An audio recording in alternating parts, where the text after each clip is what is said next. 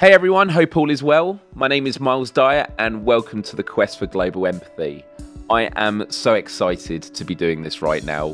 For about eight years, I've wanted to launch my very own podcast show, but I wanted to do it when the moment was right, when my ideas could come to fruition in a way that felt effective.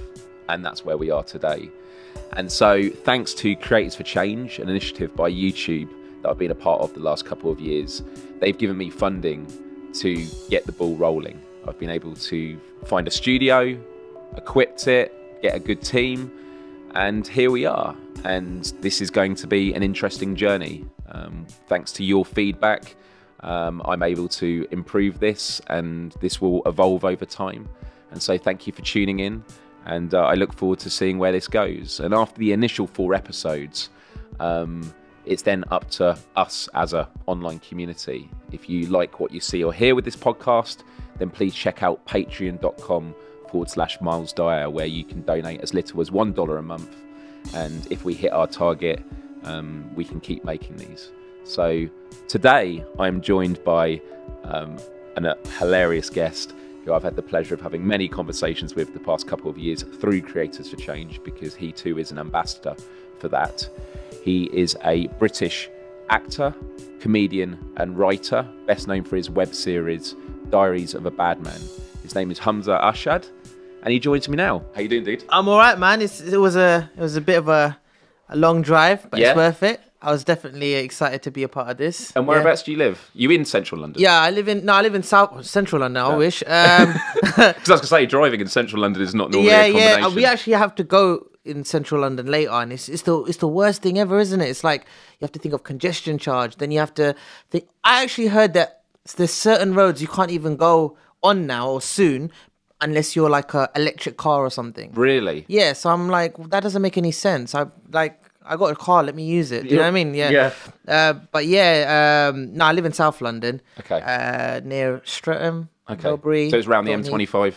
Um, yeah, well, Yeah. Oh. it's kind kind of yeah. So uh, um, for global audiences, the M25 is a, a freeway, as you'd call it, that goes all the way around London.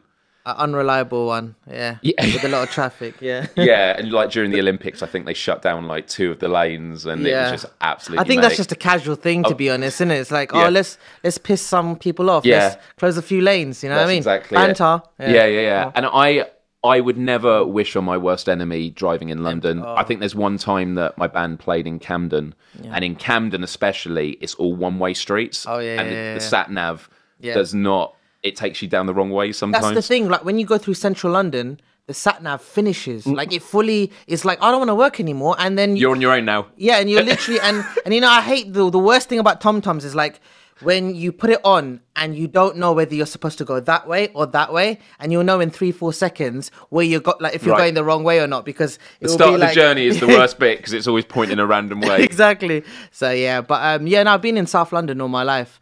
Um, yeah, it's it's, it's uh, it was it's it's weird because my uh, my neighborhoods. It's like this is the best thing about well, not the best thing about London, but the craziest thing is it's like I live in a really nice area.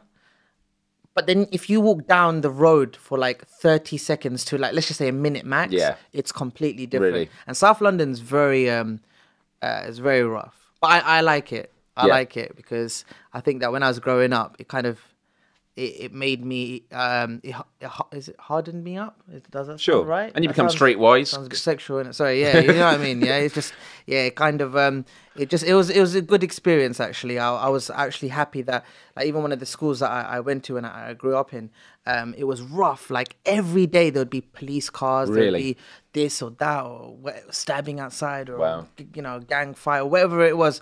Um, but yeah, it actually, it just I don't know, like because I was just thrown into that kind of world, I just learned so much. Sure. And I liked it because I was like, I'd rather that than going to like, you know, not saying that there's anything wrong with a private school or, you know, a really nice school. Obviously, there's more benefits in that, I guess. But at the same time, it just kind of showed me a different side to reality. So as as I was growing up, I was more street smart. And Sure. that was a quite a cool part of my life. Yeah. I think it is good just having that variety because um, I I've had a weird mix. So I went to a state primary school. Yeah. Um, I, mean, my dad's story was he started off as a, a mechanic for British Airways, and then he worked up and became quite senior in a health company. And so, like, he's a real inspiration to me. Of like, really worked for it. Yeah. And so, my secondary school was private school. I felt like a complete outcast there. Like, um, uh, I I was like, I'm not academic, and there was a lot of pressure because then you have to really perform to sort of keep with that. But it was interesting in having that mix. And actually, I think, and I'm sure you'll relate to this, whenever you do videos on YouTube, Yeah. uh, one of the most common comments you get is get a real job. Yeah, And I just want to like get out my CV and go, look, I've worked in construction as a labourer. Wow, You know, I have worked for the BBC and the Guardian. Yeah, yeah. But I've also, you know, s- stacked shelves at Tesco's or sold carpets for like a department store. Like, Yeah. I've I've had a good mixture. Yeah, yeah. Um, and and also I think with my accent as well, I've always had people make fun of me either because to some I sound, especially when I was in construction, they thought I sounded too posh. Okay, And yeah, then when. I'm with people that are you know well spoken because I don't pronounce my T's, they think I sound too common. It's- and it's, it's I'm like Yeah. in this weird middle it's ground. It's so weird how like I mean it's so weird how so many of us um experience not fitting in. Right. Like as an example, like you're saying that now, I'm like like here, like especially when I was growing up, you know, obviously racism still exists, but you know, back then it was It does? Yeah, I think so. I haven't People had any recently. Yeah. but like with with the with me, I was like, okay, sometimes like when I'm in this country, you know, you feel kind of like an outsider. You don't you don't feel you want to say, oh, you know, I'm British. I was born in this country. I was you know raised in this country, and um, you know, sometimes some like certain people will make you feel that you don't belong here, and then I go to Pakistan. And you know that's for me. You know, should be my home. It's where my parents are from. It's my roots. It's it's, it's my culture. And I'm there. And then, and I remember like I we live in a small village um, in Jhelum, um, and it's beautiful. It's absolutely like a lot of people have this kind of uh, kind of like this vision of Pakistan and how it looks, and it's just like Right. you know like just loads of you know little barefoot kids just running about and, and just sewers and stuff. It's not well actually that is Pakistan, but there's some nice parts as well. And uh, yeah, we're we're like in the middle of nowhere, um, like just fields everywhere. And um, and I remember once I, I came back. And I don't think the story has a point, actually, to be honest. So I'm kind of scared talking about the story uh, because I don't know where I'm going. But I just remember there was one point where there were so many kids and we were playing football, and in my head I was like, "Oh, you know, you're gonna be all rubbish. I'm, you know, I'm sick of football. I'm from, you know, South London," and and that was true because they were they were horrible. horrible. They were really bad. They they can play cricket really well, but football they were just they didn't understand the concept. They, one person said, "Oh, is it more? It's more pleasurable to score a goal really close to the line." I said, "No, it's not actually. It's the other way around." But anyway, uh, carry on. Just wear some socks and. Um, I remember they like would like look at me like I don't belong here. Right. They, they kept calling me English fella, which means the uh, I think it, the you know the English one, you know, and um and it was such a shame because I was like, so many of us just we we're just us, but we feel that there's not actually a right place where we actually fit. You're right. You know, and it's, it's a weird feeling, isn't it? And as the world is diversifying more, it's harder to find that more concrete identity. But I think it goes more fundamental than just about like your heritage. You know, a generation ago, you would have a job for life. um, I I tell this story quite a lot, but I'll never forget when I worked for a department store. Um, it was one of my first jobs. And in the electrical department, we celebrated. I think it was one of my colleagues. It was her. I think it was 40th or 50th year working there. Oh wow! So on the one hand, I was like huge respect. On the other hand, Yeah. I was like, the idea of working somewhere for 40, 50 years Yeah. terrifies me. Yeah, yeah. But that was just the way it is. It's also in terms of relationships Yeah. or having a house for life. Like these are very static forms of, you know, that it's security in a lifestyle, Yeah. which doesn't exist anymore. Like mm. it, the, the cliche of when you go for a job and they say, where do you see yourself in 10 years time? Mm. I always want to turn the question, although I wouldn't, I wouldn't get the job. But you, you, you want to say, where do you see the world in a month? Yeah. Like we have no idea, Yeah, yeah. and I think that causes people to want to latch on to identity and some, ki- and, and it's why people. I think at the moment really want to go back to traditions. yeah, Um, yeah, But the the world is a lot more complicated, and as you say, people have an idea of what Pakistan is like, and that might uh, uh, you know be true of some areas. yeah, yeah, yeah. But the world is complicated, and we can't deal with the complicated nature. So some people will look at me and go, "I'm a posh boy," and others will go, "Oh, I'm just Yeah. common." And it's like, It's crazy, yeah. I mean, it's it's it's, it's I, I think that even when I was growing up, I just But I think that's one one thing that I loved about London is like, you know, we're one of the most diverse cities in the world. And growing up, I just met so many different types of people, and it just made me kind of like appreciate and and and kind of like respect life and, and people um, because you're growing up with different. Like I remember um, when I was uh, when I was in school, um, there was hardly any. Uh, I hardly had any white friends Right. uh, because it was majority um, black or Asian. Uh, and then I remember when I went to Croydon College, uh, predominantly all my friends were black. And then I went to Kingston College, uh, and then um, I think that was m- a much crazier mix of like all these different kind of uh, people coming from different parts of the world. Yeah. And then I went to drama school in Richmond, and I was the only colored person there, and everyone else was white. Right. Uh, and I, but I had to. I think it's just about adapting to your kind of environment, really, isn't it? It's like, it's just a, a kind of yeah, just. I think you, as a person, you have to kind of change uh, uh, to the surroundings near you. You have to just kind of have that flexibility of just trying to cater for the environment around you and, and tweak yourself. Yes. So you kind of never know who you are, where you actually belong, because it's not really about you, it's about where you are. Yeah, You know? you're right, and it is about always being sort of one foot out of your comfort zone. And I think the prob- people run into issues where if they have been comfortable living a life of stability, whether Mm. it's where they live or the pe- the community they're in, and then it changes around them Mm.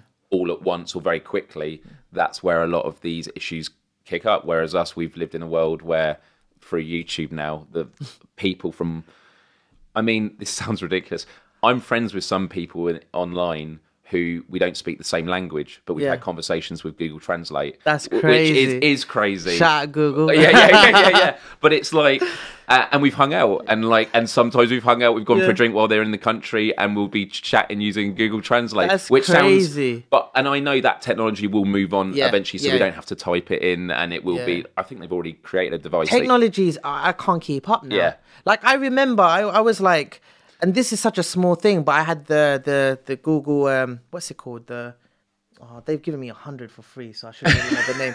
You know that little thing, it's like Is it? Lex not Lexi, but was Chrome, is it? Oh. Chrome, yeah. Is What you can put Chrome? on your. Oh no, it's the No. like Hello Google thing. Yeah, yeah, it's basically Cast, the, the- Cast, isn't it? Is it? Yeah, I think Google Cast. Yeah. Yeah, I think it's that. Yeah, It's like the uh, Alexa, the, the, the Amazon equivalent. Yeah, Yeah, yeah, Did you hear about the Alexa, the the, the laugh? Oh yeah, the creepy laugh in the middle of the night. Yeah, uh, uh, if that happened to me, I would I would just start punching air. I would go crazy. Oh That's- yeah, I, I don't have one because I don't trust. Because when I heard that story, I just literally just unplugged it. Right. Even at nighttime, I feel really uneasy. Like, like you hear all these conspiracy theories. Um, sorry, it's a podcast. We are going to get to Yeah, conspiracy no, we will. theories. Yeah, yeah, yeah. But like, yeah. But anyway, back. Let me go back to my point. So I had that, and I remember um, once I just basically said, "Oh, um, uh, what's my name?" And because it's uh, connected to my uh, Google Pixel, uh, which got free as well. Um, uh, uh, the perks of being an ambassador. Um, it, yeah, they basically, well, she said, yeah, you know, um, your name's Humza Arshad. I was like, oh, wicked. So I said, oh, what's my mom's name?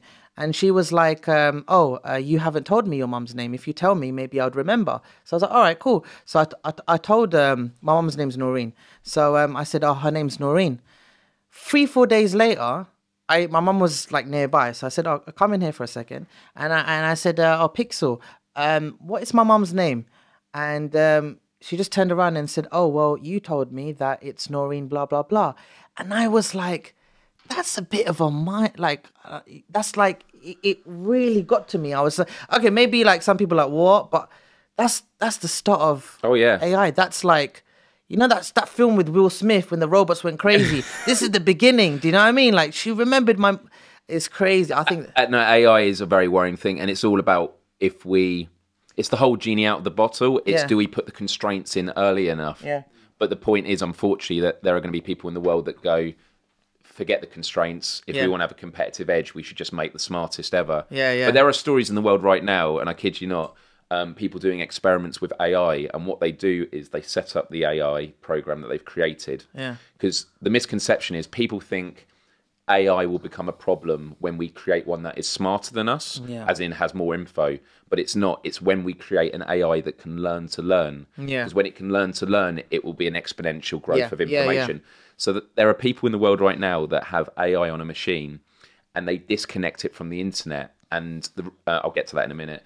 But they feed it information bit by bit to see if it becomes curious. Okay. And the reason they disconnect it from the internet is because they're worried if it does learn to learn, it might escape through the internet wow. and it could like basically absorb all the information online. it, it could literally download itself probably onto a 3D printer, make itself in physical form. That's literally genuinely crazy. Uh, yeah, yeah. Like I hear like like there's I was uh, YouTube's a crazy place. Like I was seeing this kind of thing where like they're making like sex bots now. Yeah. And I'm like, wow, like, I, I, okay, the blow up dolls were the were the thing probably back in the 80s, but now like, what, they're gonna talk to me now and stuff. That's weird. And I saw this one program where the guy's married, Yes, but yeah. he's with. Have you seen that? Yeah, it's- and but he's got a sex doll, and but he's got kids. I know. And, And- they, and they speak to, to the, the- the- the the AI. bot. Yeah, yeah. And I'm like, what kind of family is? You never get that in a Pakistani home. we might be running barefoot like everywhere and getting cut up on our foot, but we're not. We're not having sex with machines.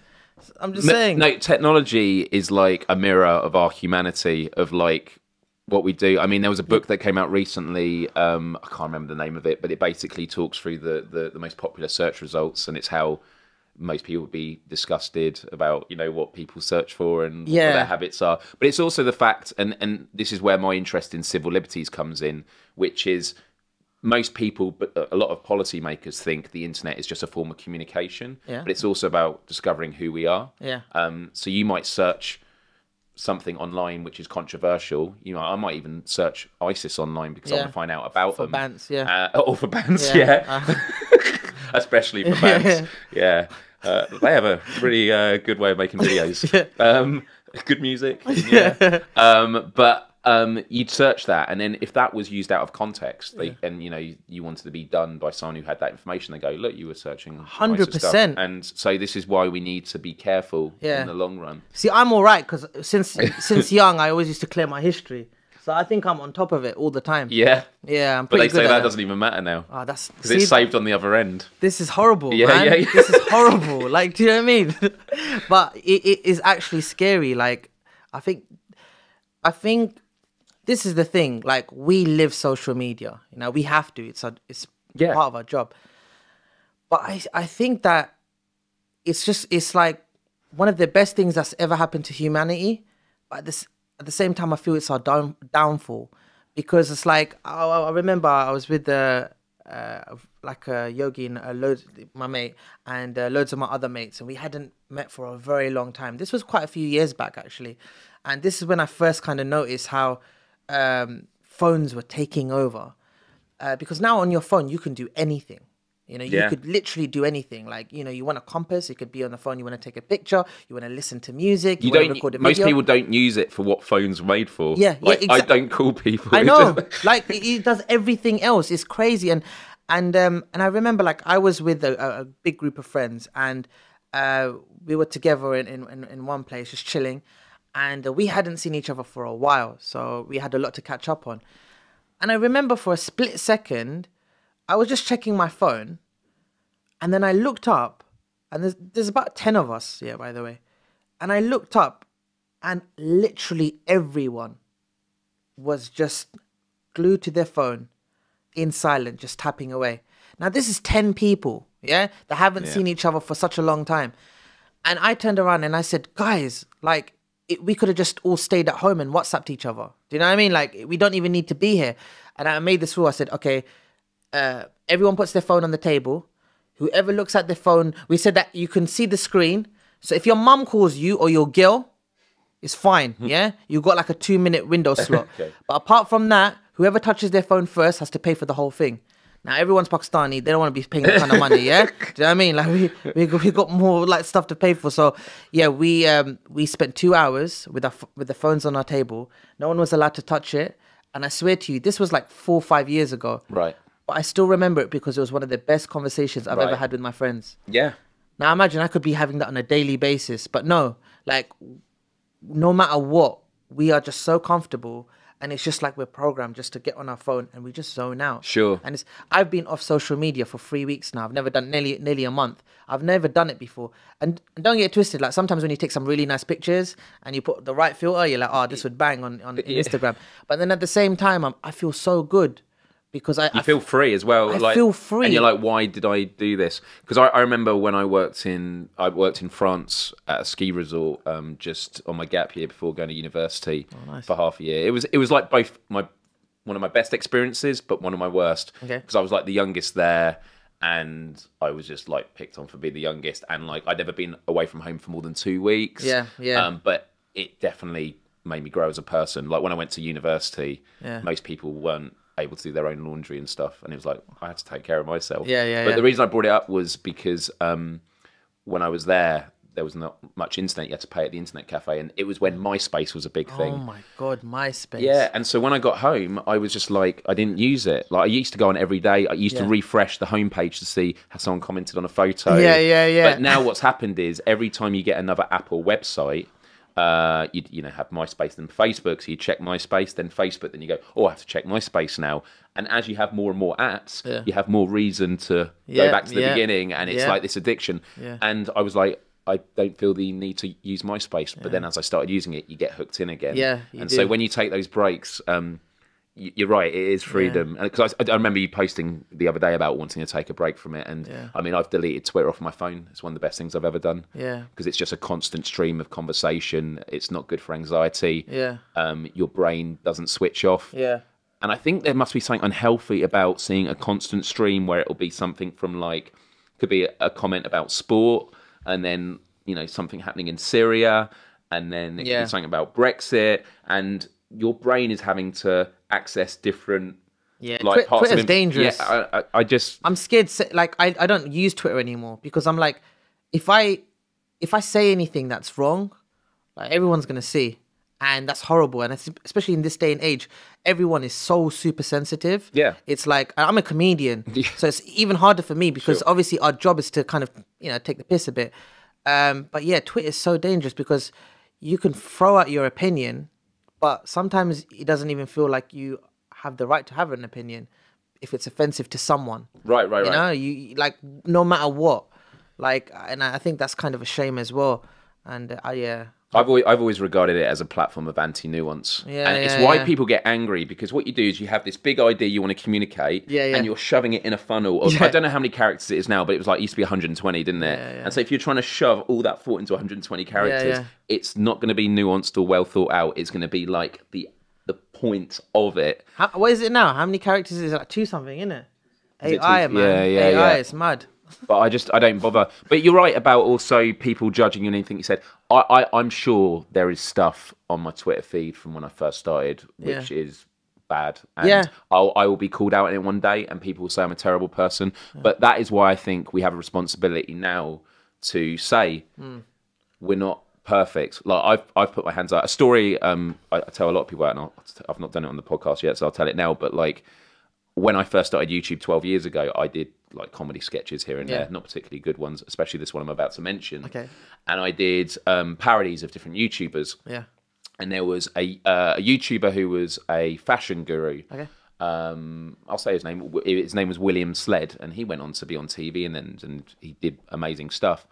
Um, and so I did uh, a sketch of him, and I didn't know him personally, um, but I did a comedy sketch, um, just making fun of the way he behaved and stuff like that. Um, and I uploaded it, and it did quite well amongst my circle of friends. People saying it was funny. Yeah. And then I sent it to him, and I was like, "Hey, William, I made this. What do you think?" And I didn't hear back. Uh, and back then, we used a live streaming website called Stickam. Okay. And uh, he was live one day, and so I went into his room. I was like, "Oh, hey, hey, Will, it's Myles. I made that sketch. What did you think of it?" And he went, "Oh yeah, I was totally mortified, like by it." And like instantly, I felt so bad, Yeah, yeah, yeah. and I was like, "I'm so sorry." I deleted it. Yeah. I followed up with a message apologizing. We didn't speak again, but we didn't really speak much anyway. And I know, without doubt, in hindsight, it was a homophobic video. Some Mm. of the gags um, about him being very camp, Mm. in uh, it, it was completely homophobic. And you know what? Um, I deleted it. There's every chance it could be found, and someone would upload it one day, and that 12 years ago of me will be used to judge me now. Mm. Yeah. But I would condemn it. Yeah, and. I would be mortified if that was put up now because it was disgusting and it came from a place of ignorance. There was no malice in it. Yeah. And I think it's why we have to be careful about where intention lies because we all make mistakes. And the problem we have in our world today is if every time someone makes a mistake, we say you're an evil person Yeah. or you, you are a bad person. Yeah, yeah. And I speak a lot before about I don't think there's such thing as about being a good or bad person. Yeah, You're yeah. a mixed bag. And, you know, we believe like an apple can turn bad, but a Yeah, bad yeah. apple can't go good. But we're human beings, we can improve. Yeah, 100%. And if you are just going to say someone's bad, you're basically defining them and you're not giving them room to improve. Yeah. And so I, I've definitely, even when I was like in primary school, that I told racist jokes, Hmm. and I know it. And actually, I remember the first time uh, when I stopped, and I must have been really little, like Yeah. Ten or maybe a bit younger. But I was at a park telling a racist joke, and this guy, it, you did it because you got the laughs, and Yeah, there was yeah, this yeah. power play with it. And um, this um, guy said, "Oh yeah, tell it to my mate," um, and he was of he was of um, Asian origin. Yeah, and I yeah. told this racist joke, and I saw him just go like dead serious. no, yeah, and in that moment, it was like just empathy in that moment of like this is the consequence of you telling a joke. Like I got the laughs when you did it in the playground, and in that moment, it was like Yeah. ne- never again. And I remember apologizing there, but his mate was like laughing, and I just saw it in his face, and it was just like that's how you learn in life. Yeah. And unfortunately, yeah, it's all right that I learned it. That caused him a bit of pain in that moment, Yeah. and that's terrible. But I What was do- the joke? I can't remember. I Oh, can't. you do, do you do? Go on Google. They know. You go on Google. Yeah, yeah. No, uh, I tell the joke. I, It'll, I it'll can't. I can't remember the specific joke. has And even if, I, and even if I did, I wouldn't repeat it. thumbnail Yeah. of an Asian guy. Just But the fact you say that and I feel like really tense inside is because it's um, it's traumatic to think that I was a human being that did that, and it's Yeah. because when I look back in my past life, there are things that I don't identify myself as being today because we change and we learn. Do you think though that people are way too like a bit too sensitive? Because I feel like if there's malice in a joke, Sure.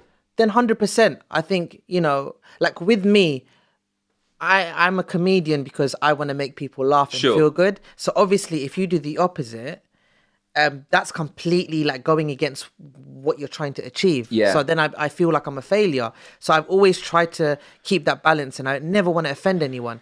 But nowadays, like people would get offended over anything, you know, like any anything, like you know, I, Do you know what it is though? I, I, I do wonder to what extent that is true because I think there will always be someone online who says I'm offended and Yeah. that's what the media will pick up Yeah, and say, yeah, look at these offended.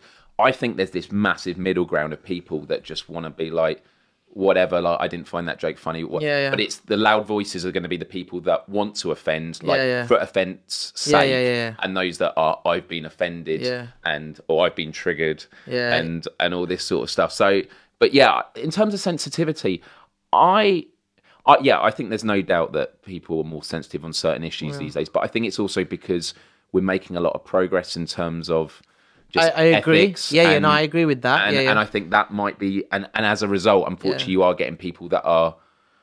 I think in a way, the people that are most sensitive are probably making progress for us all, but they're I guess, yeah, I they're, guess they're sort of yeah. they're punching far, Yeah. Mm. and it's like we don't want to go that far, but by them doing it, it is Yeah. making us move along. It's a weird one. I think we're definitely learning. Like I'm learning every day. Yeah. You know, and I think, you know, sometimes when you when you like uh like as an example even I mean I didn't really get any uh, backlash but I you know sl- for us slang back in the day uh, like just on road like if you if you if you didn't like anything you'd be like oh that's gay. Yeah? Yeah, It wasn't actually even though in essence it's kind of you know It- yeah, it's homophobic, yeah, but, it but it, w- it was never meant. but it was or- yeah. slang you know Yeah, yeah, like yeah. you know like slang would be so weird like you would you if you compliment something and like something you say it's sick which is kind of meaning the opposite so it was it's, it's so weird but it was just slang uh, but then obviously when i when i grew up i was like oh okay in maybe in south london people would understand that but now when you're appealing to so many people you know and especially like back then like I had like a small group of friends, and and and and two of the, two of them, obviously the sexuality was you know different. They were you know they're gay, so I didn't want to upset them. So I was like, oh, the more people that watch this, I have to be even like I have to think about uh, not just on in my world what I you know feel is okay and what isn't. But at the same time, like what other people like because when you do a YouTube video, someone in in Thailand or or or, or Korea, maybe not North Korea, or was it South Korea? Which one's a bad one? Uh, whatever. Yeah, that's one. Kim Jong Un, that one. Yeah, Yeah. yeah, Uh, but yeah, like people like in all these different parts of the world that will have a, a different kind of like uh, mindset. Uh, Sure. And they, yeah, and I think that's quite.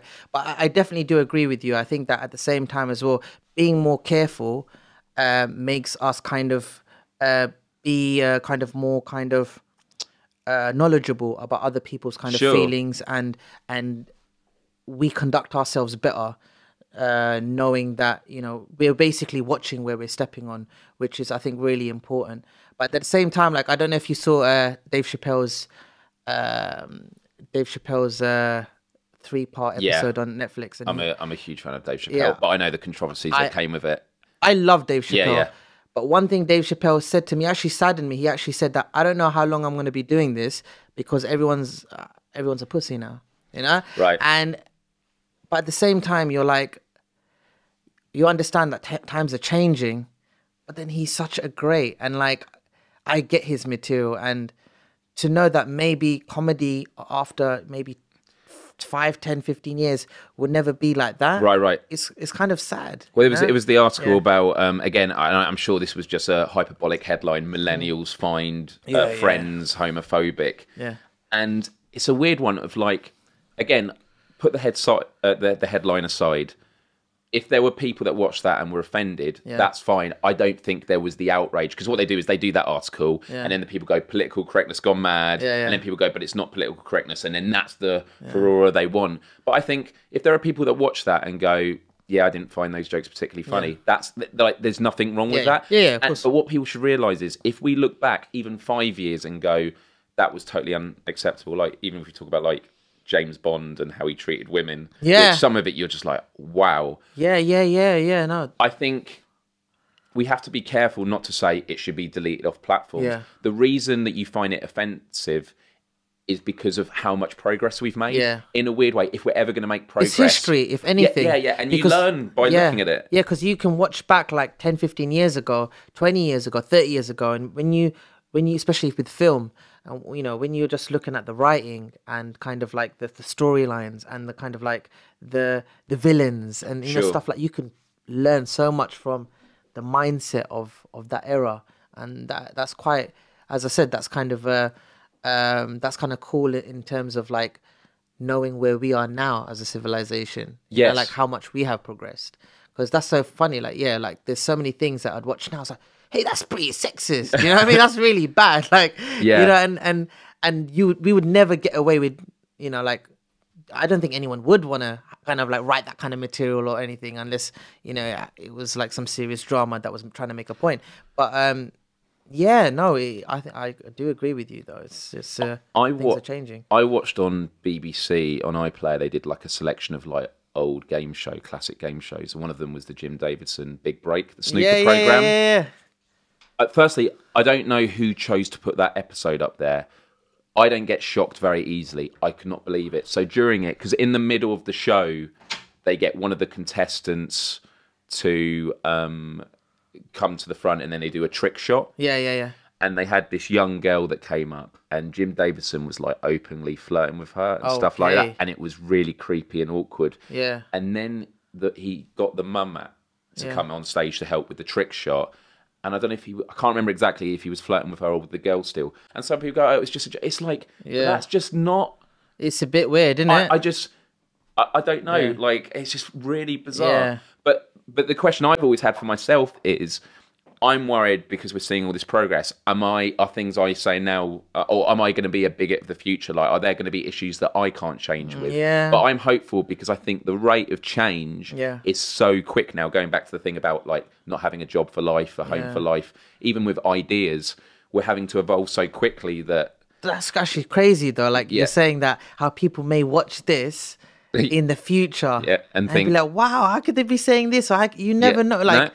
Their mindset might be completely different. But if they're watching right now, I'm just saying, having sex with robots is, is wrong, bro. you know what I mean?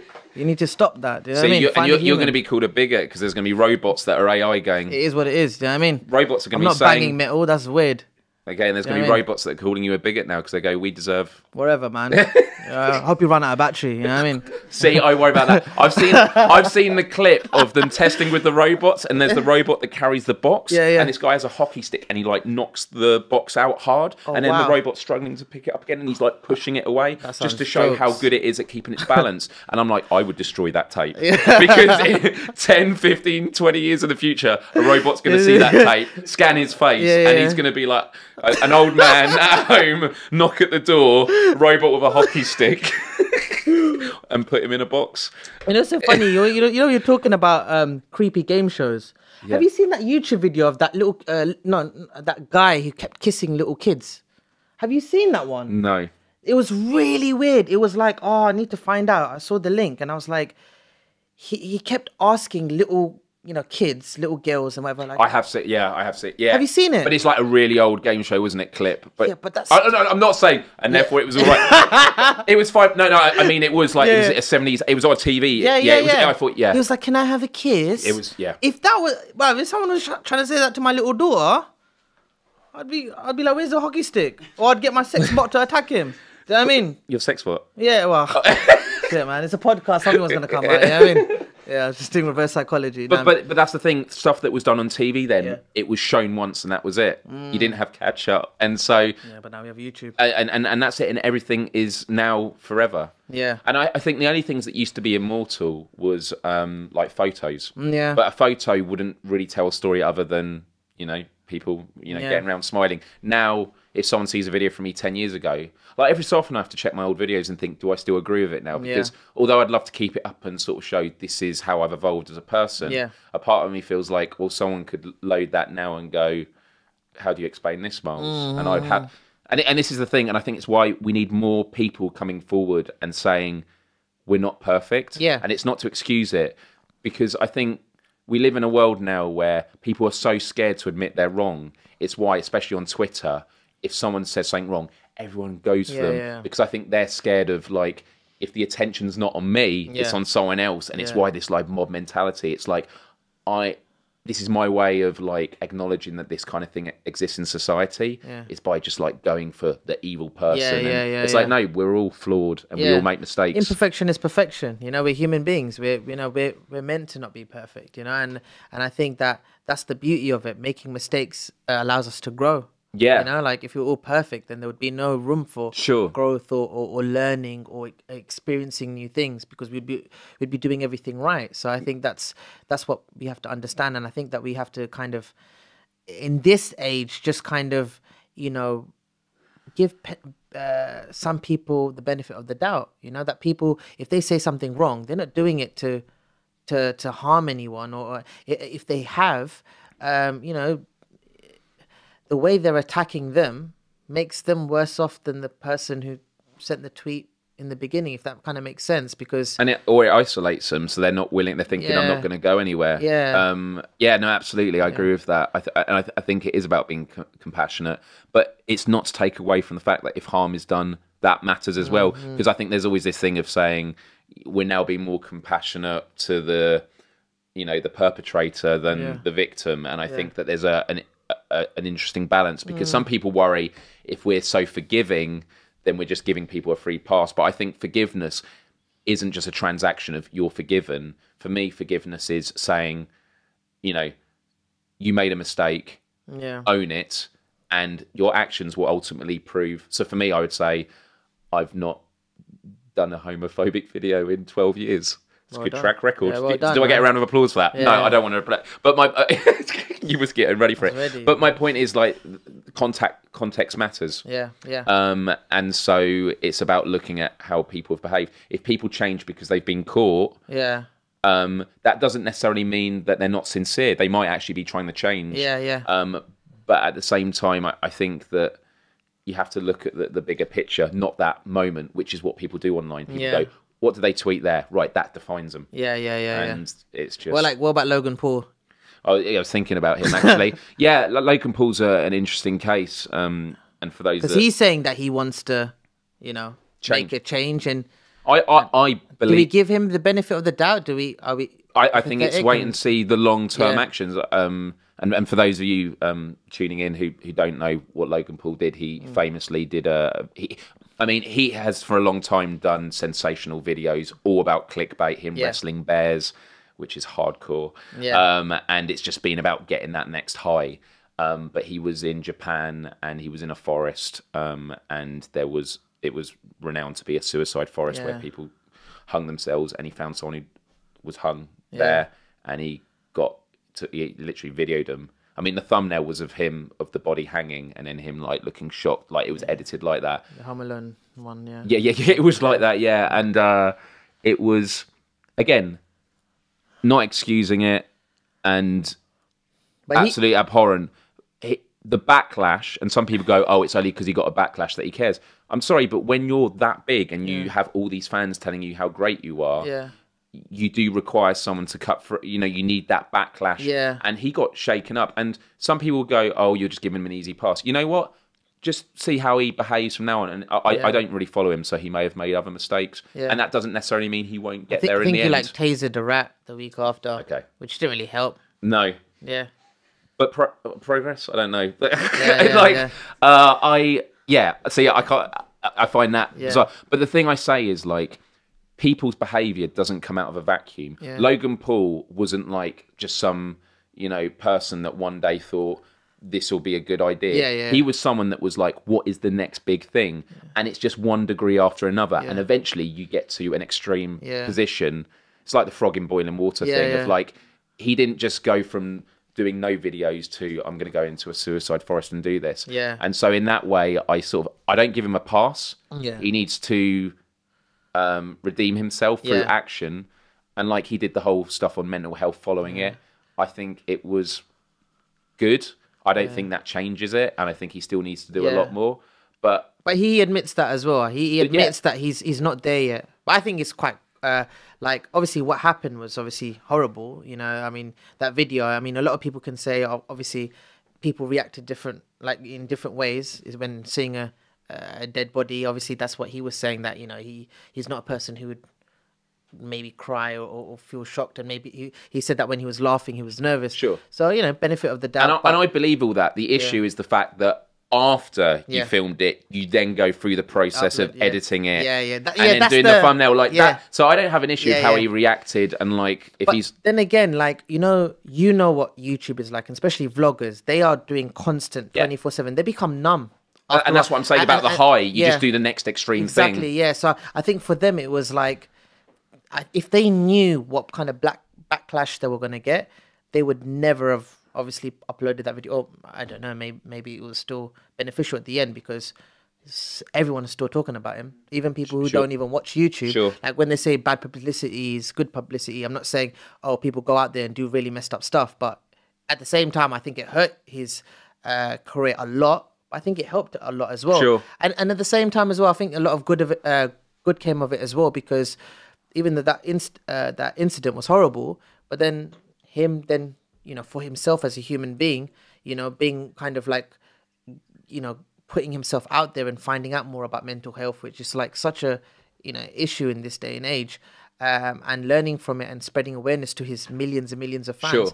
i mean i guess that's a that's a positive in And a lot of young fans, he said, "Don't defend me," because I know he did that in his apology video. Mm-hmm. Yeah. And again, I'm not getting into the credence of whether it was a good apology video. That was one detail I thought was good Mm. because there were so many young people going who are just fans and they just like admire them so Yeah. much. And again, it goes to the thing of people aren't fully bad or good. They're like, I like him, so you got to defend him. And he's like, no, don't defend me. And I think that's a lesson for young people Yeah. that watched him as well. So, yeah, again, I think by having these conversations and if the process of forgiveness is about what do we actually learn from this, it's not just about his journey, it's about the millions that watch. And people go, oh, so you mean that people have to be taught not to go to a forest? And it's like, but it's about the full context. It's about being responsible that if you have an audience, mm. what is the thing you're communicating? It's also about having empathy. Yeah. Um, so Yeah. going back to the story that I don't really want to talk about much more, but the, the racist joke I told when I was young, in that moment of just seeing this guy's face, it was like an instant moment of empathy of like, I've caused pain. Why did I say this? And um, I didn't do it again. And, you know, um, I, I think it's e- empathy is what it's about because it makes people it makes us put ourselves in other people's shoes. You should remember the joke though. I, I, I do, I do, I, I do, I do remember it now, but I'm, I wouldn't repeat it Why not? because it's hor- it's. Alright, what's that at me?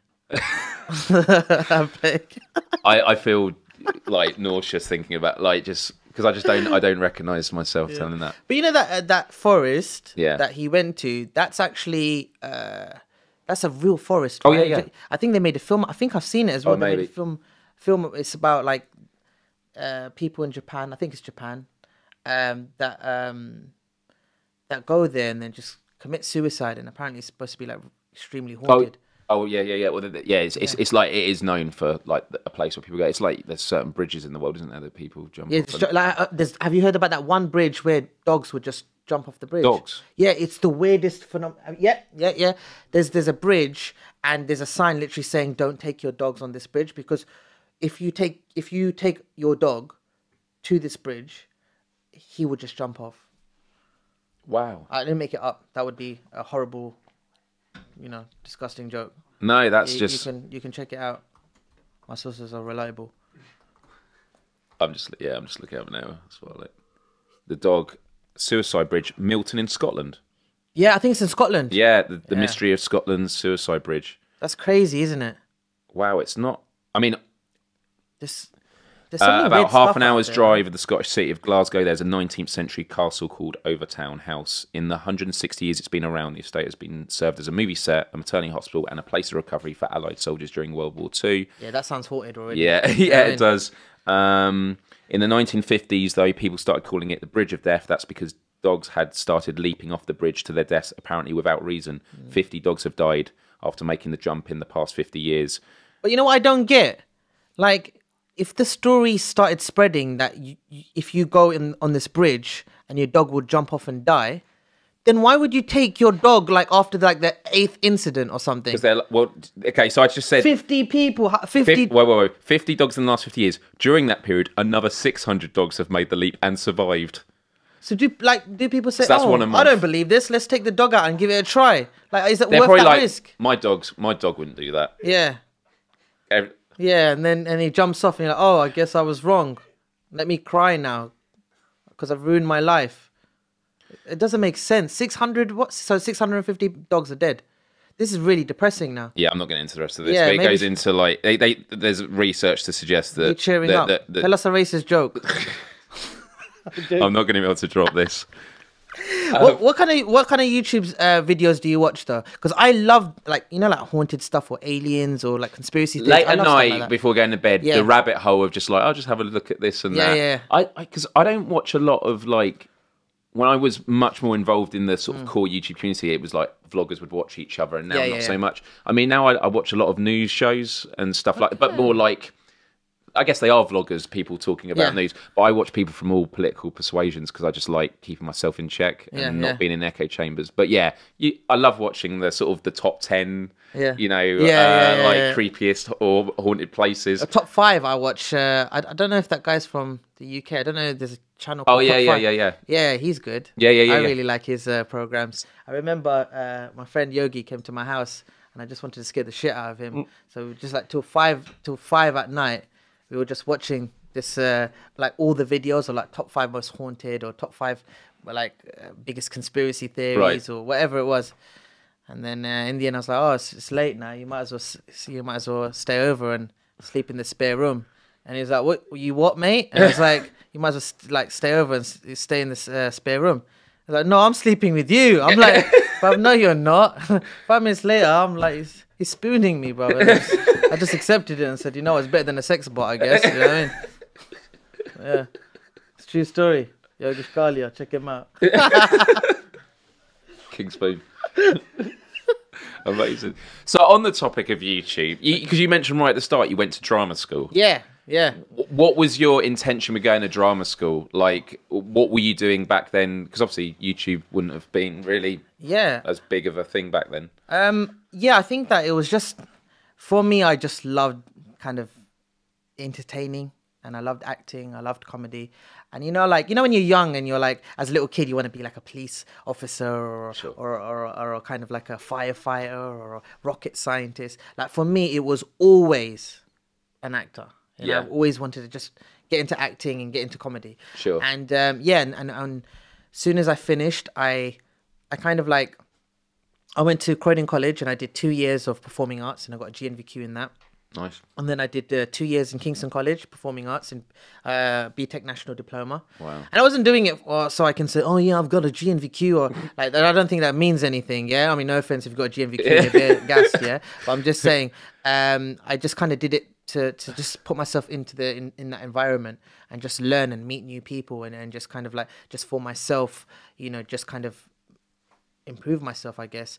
And the thing, and I think when I went to drama school, the thing is like all my life, everyone's saying, "Oh, you're so funny, you're so funny," yeah. But there's a difference of being funny, but then being able to act and and, and be funny while acting. Right. And I think drama school, when I went to RDS, um, that was uh, that that was that kind of like uh, how shall I say uh, the moment where I realized, oh my god, I like, I, I there's still so much to learn. Like even though I thought that you know what I've got my craft right, but you you will always build and build and you will always learn something new. And Yeah. and that was and my, one of my teachers Tom Hardy as well. Tom Hardy, yeah, it's true story. Yeah, yeah, Really? Yeah, because he basically uh, my tutor, his name's David Whitworth, and he's been there for I think that was his twentieth year. Um, and um, I wasn't even supposed to go to that drama school. Basically, what happened was I was in uh, Kingston College.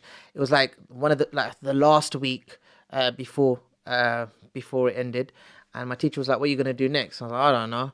And uh, to be honest, all I could really think about is I think like the new Metal Gear Solid was out, so that's that was the only thing for my future at that moment of time.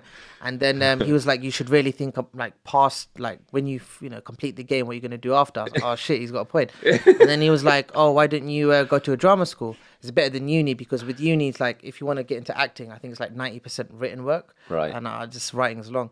So um, he said, "Go to a drama school," and then RDS was like a really small uh, drama school. Um, I think it's, it only has like I think like um, 17 students or something. Right. Um, and he called up David Whitworth, who was in charge of you know the drama school, and he basically said, "Look, I've got a really talented, uh, uh, a, a young uh, kind of pupil uh, that doesn't know what he wants to do next. I just want you to see him." So David basically said, "Look, uh, you know, yeah, we've got 17 spaces. It's all filled. Like, you know, can't, can't really do anything now. Um, it's a bit late." So my uh, my tutor then Carlos, um, he basically said, "Please just give him a chance." And he was like, "All right, just tell him to come tomorrow and learn a, a, a Shakespeare piece." So Carlos like, "Look, you've got like 24 hours to learn something that's funny and Shakespeare, and you have to kind of perform in front of this guy named David Whitworth." Yeah. So I was like, "All right, why not? Yeah, banter."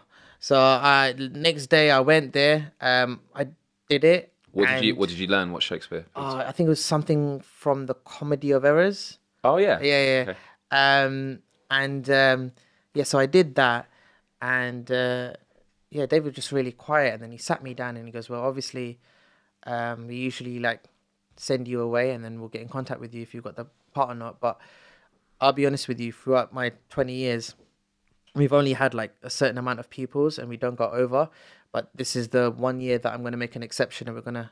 You know, Wow. we're gonna allow you to. Basically, I'm saying I'm sick, yeah. Yeah. And um and and I The and I- chosen one. yeah, the chosen. and I got in, and Tom Hardy used to be taught by David Whitworth, and because this was David's last year, Tom um, decided to come back and and and take time out of his busy schedule to, and he was already big then. Like obviously now he's like extremely like big and yeah, yeah, yeah. Now he's like next All big. relative, but yeah.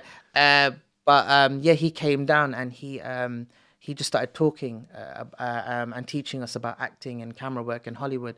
And um, yeah, he was he was very intense. We had a couple of issues here and there, um, but um, uh, yeah, he was uh, he was definitely uh, really gifted, you know. And I learned so much in that year, uh, not just from Tom, but from David as well. Well, and yeah, it was a great experience for me. Uh, and it just kind of uh, after that, I wanted to obviously act, and all my friends were gonna you know go out and you know do auditions and stuff. But I just kept playing the part of you know terrorist number two, you know, and I don't want that, you know, like at least terrorist number one because there's more money. Do you know what I mean? Uh, so um, yeah, and then I just I found YouTube. So I used to love like uh, you know making you know like uh, small little videos in my bedroom. Not those obviously videos, um, and um, and and just kind of like yeah, just edit them up and and just kind of you know have fun with them. So they were just like, oh, why don't you you know put something on YouTube? And uh, I think my first ever thing that I did was uh, it was called the Chronicles of Dottu. It was like some really funny, weird stupid thing that I made. It's just five parts. It wasn't for anyone. I literally just made it and and put it out there just so I know. Oh, I can you know edit a, a production together. You know, and it was just me messing around with the camera, but it was Is a it lot still of up? fun. It's still up. Is yeah, it? yeah, yeah. Uh, and then after that, I said, all right, let me make something now that um that can appeal to other people and that can get you know get someone's attention, like whether it's a casting agent or a director or someone who can point me in the right direction. Let me make something that could hopefully, you know, spread a bit and and maybe uh, sorry, I think I spat beer when I said that. That's right. Um, spread is a hard word. you always a bit. Um, and uh, and yeah, and I kind of I made this thing called Diary of a Badman. I never put it out, but my friends when they would come and they would like try to catch me out, see what porn I'm watching. Yeah, never find anything because clear history in that. uh, but then they would come across Diary of a Badman and they were like, "Oh, why don't you put this out?" And I was like, "Oh no, I, I don't know if that's the one." But they were like, "No, just do it. You've made it now." So I, I put it out there, and then everything just changed. It was like overnight. It was, it was the craziest experience ever. Like, you know, it's like first 24 hours, I got like 5,000 views, which back then Yeah, yeah, yeah. was, you know, like I was like A-lister now, like Tom Cruise, Will Smith, me, same thing. Mm. um, and then like it just grew to 20,000. Next day it was like 30,000. The next day it was like 45 and then 60. And, so, and I was like, I have to make another one. Made another one straight away 100,000, 200,000, 300,000. Made the third one, like started getting to the millions. And, Right. and that's kind of like where and, and it was so funny as well because as I said, I was just trying to get one person's attention that could help me. But what I didn't realize was YouTube was actually gonna create a brand, like you know, allow me to create my own brand. Sure. And that's why I, I I I will always say, no matter how much mainstream stuff I do, um, to me, YouTube is probably the most important in my heart anyway. Um, and I have a great relationship with YouTube, and, and they've really, I believe, helped me so much through my career. Now that's why I always like kind of do my part to, you know, whether it's just being an ambassador or, or what, whatever else. I always try to kind of like represent YouTube as best as I can, because uh, I feel that if it wasn't for them, for a brown, Asian, Pakistani, Muslim trying to get onto TV when there's only like what four or five big channels out there, and the stuff that they put out with the people they choose, cast and choose, I mean, it was just going to be super hard for me to ever achieve my dream. And luckily, YouTube came along and I was allowed to create my own content and kind of like create my, you know, basically make my dream into a reality. You know, just create content and put it out on a channel. And, Yeah. And, and getting people to watch it. What's the difference between that and TV? Sure. You know, it's the same thing. So YouTube just allowed me, say, hell, oh, this is your channel, put it out. Yeah. and, and not only that, there will be people that watch your videos that have been waiting for content that relates to them or is what they're Exactly, after. Whereas yeah. before you'd have to put on five channels. Yeah. I mean, I'll never forget when my nan first had Sky and I'd never known of Sky before. What Yeah. was 600 channels? Yeah. And you just go for it. I, you, you basically spend the time just flicking through the channels, just absolute rubbish. Like, Yeah, yeah. and it and it, it's because you could only choose the channels. You couldn't actually choose the content. Now you can actually search for the things that Yeah. you want to learn about, and so it's now not just being good for content creators like yourself. It's also for the audiences to realize what actually matters to me, Yeah. and I can tune in. So, how how did I always like regard it as a eureka moment, sort of that point in your life you look back on and you think, and, and sometimes there's more than one moment where you think that was in hindsight when I became the person that I am today. Like, is there a because you're very much mission driven now with, and we'll, obviously we'll get to the, the the tours you've done at schools and that, and sort of mm. the the the messages you've had in your videos. But like, is there a bit you look back on that you think that was when it sort of clicked for me, and it was like that's when I was on this path. What clicked as in like where I thought that I was finally living my dream? Is that what you mean? yeah, it could be that, Well, or or even that you sort of you became awake to like thinking the way that you. And of course, we're always changing. I mean, Yeah. for me, for example, Yeah. was when I was at secondary school and in my final year, and you can tell it was a private school when I say this. Yeah. They had public speaking competitions. And in the final year, I did a persuasive speech, and I took the school rules and I critiqued them because there were people being bullied that were leaving because they were being bullied. The, the bullier was was fine. Yeah. Uh, there was all this stuff going on, and in hi- at the time it wasn't that significant to me. But in hindsight, I realised that was when I re- when I became anti-establishment. like speaking out, and it Yeah. didn't mean. So I just didn't know if there were times where you thought, but it could have been the release of that video. It was like now I'm really reaching Yeah. out to people. I, I I think you know when I was young, I always used to like I would do anything to get a laugh. Like I remember like with my cousins, I'd be like, "Hey, look at my bum," and I just show my bum. Obviously, I realized it's wrong, so I started like stopped like a few weeks ago. Uh, but I was young and and, and foolish. Uh, but yeah, like I would I would just I had so much enjoyment just making people laugh, and and I was always like, you know, I mean, it's obviously a bit predictable, but I was obviously like, you know, kind of like the clown, whether it's with my family or with my friends or or in class.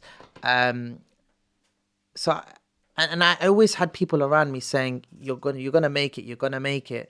And in my head, I, I didn't think that anything else was gonna happen. Right. Like I just thought that yes, I'm, I'm gonna be a comedian and an actor, and I'm just gonna have fun with it, and that's the end of it. Like I never thought, oh, if this doesn't work, then I'll do this. Like I obviously did business studies in sixth form just to gas my Asian parents up and say, I got, uh, you know, like, you know, distinction in business or wherever I got married. I don't know what it was, um, but that was just to make them happy. But I knew, in essence, thank you.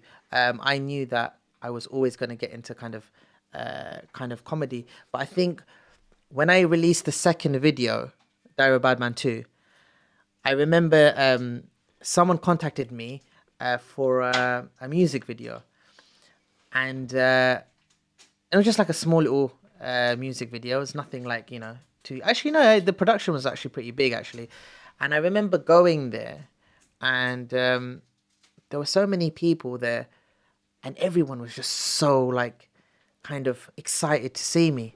And there was like some Asian stars there as well that I knew of, um, you know, Asian musicians and, and singers who were also at the video shoot. And they were like, oh, let's take a picture. And I'm like, oh, I should be taking a picture with you. Why would you want to take a picture with me?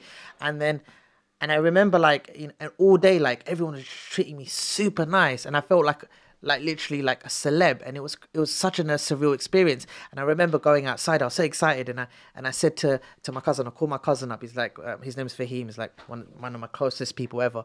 And i said to him i was like i can't believe it man. They these these idiots think i'm famous. Like you know like uh, you know this the, everyone's being so nice. I feel like i probably feel like special and um and i was saying that and and, and i had such a great experience and I I I put the phone down. I I left. As I said, everyone was so nice on the video shoot, and I just felt so good inside.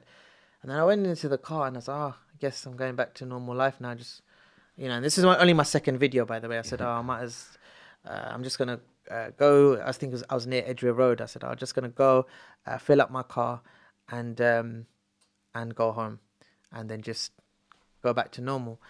And I went to the petrol station, and as soon as I got out of the car, there was like about four or five boys working past, and they were like, "Diary of a Badman, please, can we take a picture, bruv? Can we take a picture, bruv?" And I was like, "Yeah, of course." I just got out of my car. I just thought I was going back to a normal life, and they took a picture with me, all of them, and they were so nice and and and and and, and really like um, just really polite and and and and kind of like.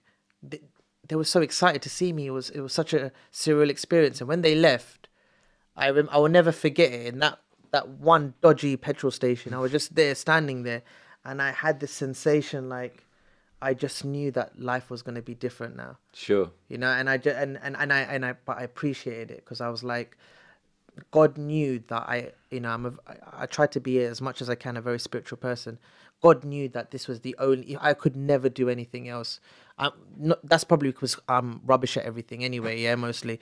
Um, but you know, that was the one thing that God, I I believe, gave me, you know, a, a, a bit of a gift and um, and made me rubbish at everything else, but gave me a little bit of a gift of making people, you know, like laugh or just being an entertainer.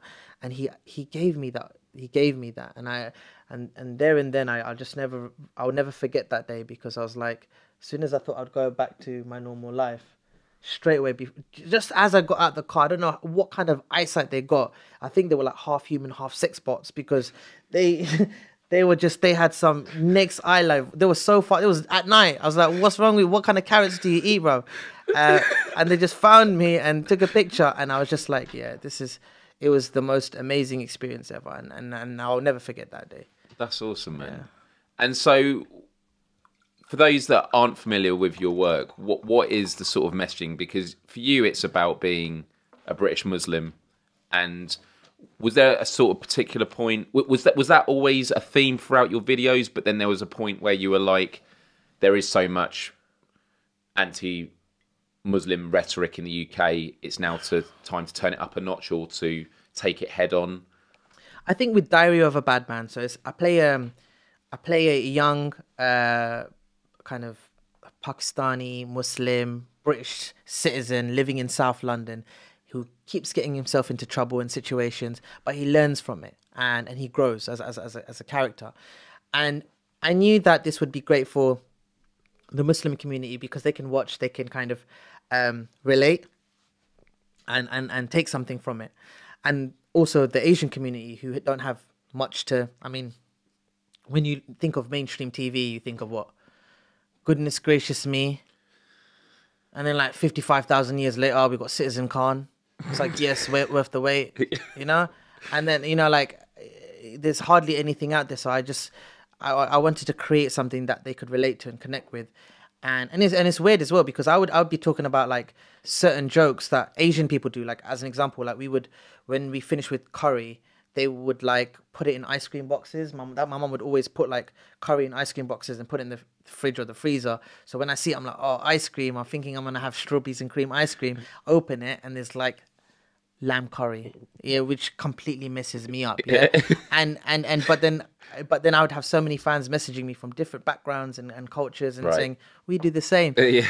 so so yeah so when i was doing that i i, I kind of did it for just to provide a kind of like uh, a form of entertainment for muslims asian people and young people in general. Yeah. because i was all of these three things and i had so many things that i just wanted to get off my chest so, so many things that i've learned you know growing up. I was like well, these these things are funny let's talk about them. Um but also comedy is universal. So I just knew it would appeal to anyone. So I knew eventually, like after I think after like Diary of a Badman six, and I've done about sixteen episodes, and now I'm like on my new series, which is called Badman, which is ten episodes. It's more of a kind of like a uh, each one's like a feature film, you know, practically, or like. Um, but um, I've I've taken the character very far. But I knew straight on after like the sixth episode that this is not just a Muslim thing. This is not just an Asian thing. This is, you know, this is not just for young people. This this communicates to so many more people, and that's the power of comedy. Um, so yeah, it wasn't like my my agenda to kind of make a certain type of content and, and just to keep at that. I was just I started off doing something that I could relate to and I knew my people would enjoy and then it just got broader and I and I just I knew my audience was getting bigger and bigger by the day. So I just kind of started, you know, as I said, you know, started broadening the the world you know that I was creating. And and then I started doing different types of shows. I've got a show called Bubblegum where I play my dad and he's uh he, he runs this shop where he sells school uniform. And uh, he has like two illegal immigrants that work for him. And uh, and uh, it's, it's it's hilarious. Yeah. And it's really stupid. And it's just like the most random thing you would see then I have like uh, Black and Brown, which is me and another comedian called Jazzy, and we have a show about just us two young people just trying to get girls, but always just you know failing, yeah. Um, and uh, you know then you have like you know Diary of a Badman. I, I made Badman, which is kind of like more it's more serious now. It, it definitely the comedy is still there, but it has uh, you know more of a social message. Um, and yeah, as I said, I'm doing all these different types of shows, um, but in essence because of the so-called fame that I have since the petrol station incident, um, I realized that being a Muslim and being an Asian and being kind of in the limelight or being known as a, as a, as a, as a public figure, I have a responsibility to represent to the best of my ability, because I'm not perfect, um, and, and kind of speak out and, and, and, and kind of bas- yeah, basically represent them as, as best as I can. And that's why I, I always try to kind of go out of my way and, and, and tackle things, whether it's Islamophobia or, you know, like racism or, or whatever it can be, um, just to kind of help my causes or even just doing more with, you know, uh, char- you know, Muslim charities. And, and, and I, as I said, I do, I, I do everything, you know, like, but I just, I know where my roots are as well. So I want to, I never want to kind of forget that. It's really interesting because it goes back to what we were talking about human beings being complicated. Because on the one hand, you are more than a Muslim. Yeah. You're more than Asian. You're a human being that has these traits in your life. Yeah.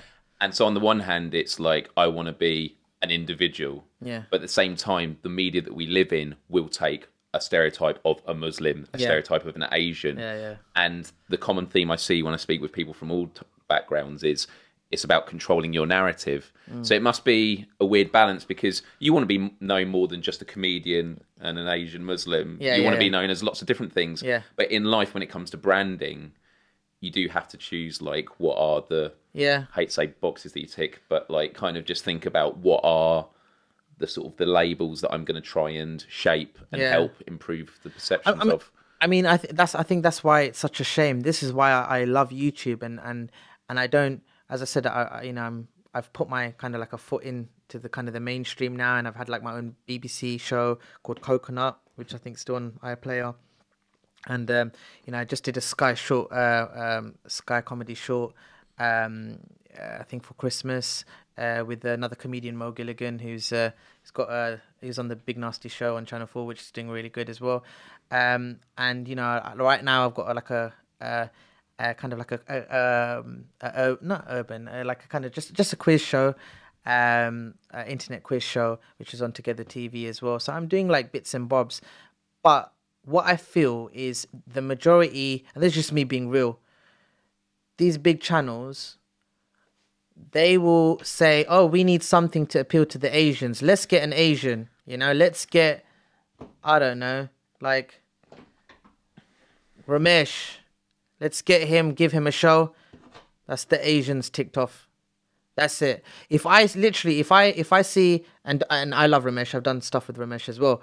Um, but like if I see him, as I said on, let's just say uh, uh on BBC, let's just say he has a show there, I would look at it and say, okay, I know how the execs are thinking or the commissioners. They don't need me because they already have one. You know that that's that's that's but that's the, that's how it is. It's really interesting, Yeah. isn't it? It's they've it's these things have been set up to help have better representation, but what it does is in the long run it doesn't serve Yeah. people because now people it's we're not just going for diversity in terms of let's Yeah. just get people on. It's now like people have become so like this tunnel vision. Yeah, yeah, On like yeah. the what are the boxes you actually do have to tick, and uh, yeah, that is really. I do think it's improving though. Like that's one thing that I'll say. I'm not. I'm not. I don't want to always be that one like pull, pulling out the race card and saying, "Oh, it's so hard for us." It's getting better. Trust me. And and sometimes it can actually play to your strengths, being different. You know, because I have a lot of uh, uh, a lot of friends who who are white, and they're like, "You're so lucky because you're you're you stand out. You're different." You know, like we have like, you know, th- these are what they they're saying to me. They're saying we go to an audition and like, you know, there's like one part, and then they'll have like hundred people that all look the same, you know, that are getting this one part. But then you have something where they want a particular now they want like particular like people that look like this, this, this, and this, and they could never get that part. So like you know, it always it's give and take as well. And and, and I know that as a as a kind of like you know as a as a the industry is taking the right steps and they are starting to have a few of the right commissioners with the right mindsets and i feel that the you know the kind of the older wigs are kind of you know now not dying off but like retiring or whatever and now all these you Sometimes know, dying off. yeah, Yeah, oh, sometimes yeah, you yeah. old or you know maybe I don't know, you get electric shock from the sex bot, but you know whatever it is, you shouldn't be connected in the first place. But what what it is, it's like you know these new commissioners are coming in, there's new blood, and it's a new way of thinking. So things are in the right direction, um, and it can work for you being different. But I think at the same time, we are so like I this is what I have in my heart and, and my manager Danny like I, I love him and and and we're actually no I take that back. I don't love him. He's just my manager. Uh, but I have to say it to keep him happy and to get me jobs. But um but I've always said to him I was like for now I don't know if my mindset would change but I obviously want to get more into the mainstream and if I can do it that's great because that's what I want to do. But no matter what I have YouTube there and I'll just create my own brand. And maybe next year i don't know like maybe i'll be like oh, this is not working out anymore. But in my heart that's i just know that's that's not a, that used to be a plan b but that's kind of like a plan a because as a creative we want to put we, i don't want to wait two years for a show to be commissioned you know i've i've i've been in the process where i've like written like such an amazing script and then get turned down after 12 months of work Right. you know, what was the point of that? You know, no money can justify that year being wasted of your life. You know, there's not as much to gain uh, in that. You know, and and uh, yeah, that's why I always look at YouTube like a great place. Like, look, you had a podcast idea, you wanted to do this, Sure. you didn't rely on anyone else, you did it yourself. You know, vice versa. Like my show, Badman, like the last the last episode that I did was like nearly an hour and a half long, and it all came out of my pocket. But why? Because I'm creating content that I feel that people are really gonna enjoy and are missing out on, and it, I'm it, I'm not relying on you know someone to give me a call and saying we're gonna fund your show. I'll do it myself. I'll I'll make it myself. When I die, I know that content is going to be enjoyed by millions and millions of people. You know, even after I'm gone. You know, and that's that means more than anything else. It is the flip side of building your own audience and then letting the media follow. I mean, I think of um, even in terms of news about there have been. I think it's changing a lot now, but I, I, I to think about Occupy Wall Street, which um, God, it was quite a few years ago now, but in New York, and I remember that watching all this alternative media doing live streams on the ground of crowds, unlike protests, like unlike I've ever seen in New York, and the media wasn't reporting on it. But it got to a point where the media would then look, the, the mainstream media would look out of touch Mm. of, oh, we're not reporting on it. And you see a lot of these things now where a video goes viral online, Yeah. and then the news has to report on it. And and unfortunately, it's gone the other way now, where did they really have to report on that? But they feel they have to, or else they seem out of touch. Mm-hmm. Yeah. But it but it's this sort of flip side, and it goes back to like controlling your own narrative that Yeah. you can still go for those jobs in broadcast and that. Yeah. But if you keep massaging your channel with your core content where your integrity is 100%, Hmm. you haven't had to have it, you know, watered down by, you know, the commission of Yeah. lots of people um, tuning in. Um, it means that if, if, if that's you controlling, you know, your brand, it means the opportunities you get, they'll refer to that. Yeah, yeah. Whereas yeah. people that have had to go into broadcast straight away, Yeah. that shapes their brand. Yeah, yeah. Mm-hmm. Which sometimes works for the better, but at least through this way, you know that I've had the freedom to work out exactly what I want to do. yeah, yeah, yeah, yeah. No, I agree. So, you, I'm going to jump to something and then you can fill in leading up to this.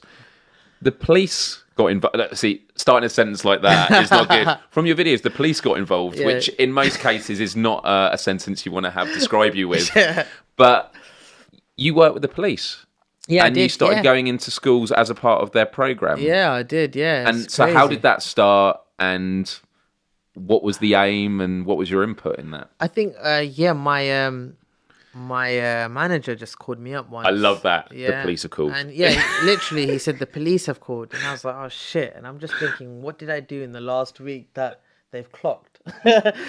and uh, and then you like, checked your history. uh, it was yeah, deleted. Yeah. I know. I was like, I've done, I've done all the basics, and um, and then yeah, and then I thought, okay, let me let let's uh, meet them up because they offered lunch. So I was like, you know what, they played it right. So uh, yeah, we went, we had a curry. It was nice, and uh, and then yeah, they were just like, uh, we're trying to uh, stop young kids from being radicalized and from doing something that you know would kind of jeopardize their own life as well as others. Now, obviously, for me, like, uh, you know, obviously, I've been, I've grown up in Streatham and Norbury and Thornton Heath and, and, and, you know, those kind of areas where, like, working with the police is a bit kind of like it would, you know, sometimes you would say that it, it could, you know, ruin your rep. But then I was like, I don't even have rep anyway. So why not? Yeah. And, uh, and yeah, and, and, and, and to be fair, like, when they spoke to me, they said, "You look, we we want you to make a video." And I made a video called "I'm a Muslim, not a terrorist," and you're basically just stopping young people from, as I said, hurting themselves or others. Uh, you know, who believe that they're doing it in the name of God. Yeah, Because there's a lot of people from Britain who have fled yeah, to join the fight. yeah, with uh, yeah. Daesh, well, well, you say a lot. I, I, I, But, I- yeah, more than there should be. It's not as Yeah, one ma- should- yeah, is yeah, more yeah, than yeah, should But be, you're right. yeah, yeah. In terms of how the media perpetuates it, it's not 100%. like Yeah, there aren't yeah. like plane loads. exactly that that's the thing like you know like it's it's talked about so much but Yes. honestly like we're talking about a handful of cases if if that yeah but you have to understand that even if one person does something bad it's it can it, it can affect so many people Yeah. you know? So that's that's the point. It was just like even with my work i've always said that you know i use comedy as a tool to to help people when they feel down when they feel out. Because i always say in my talks like um you know life is so hard and you know we go through so much stuff whether it's like you know family issues or peer pressures or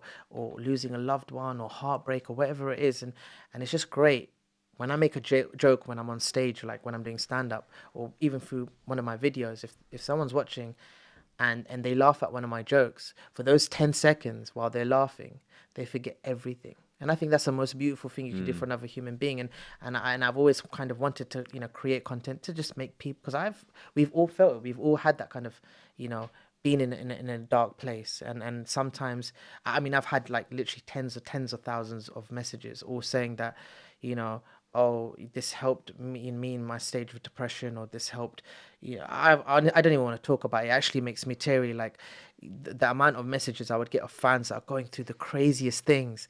Um but saying that my videos help. I'm like really? I'm like well if that's the case I need to keep making videos.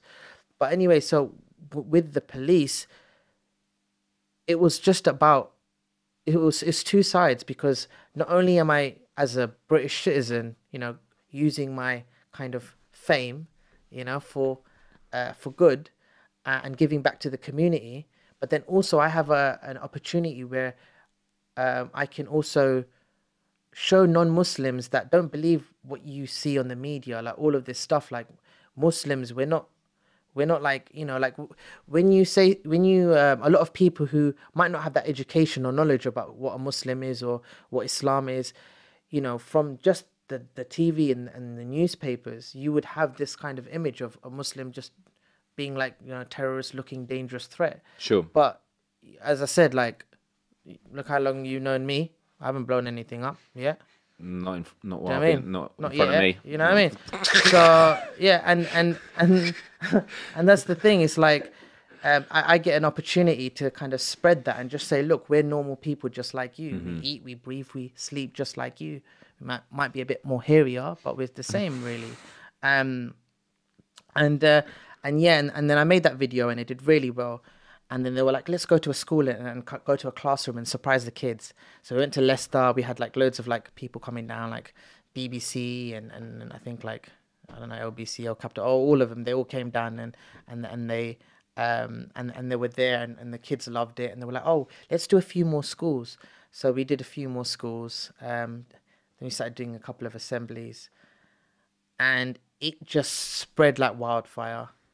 And I think in this space of a year and a half, I think I did over 130 shows.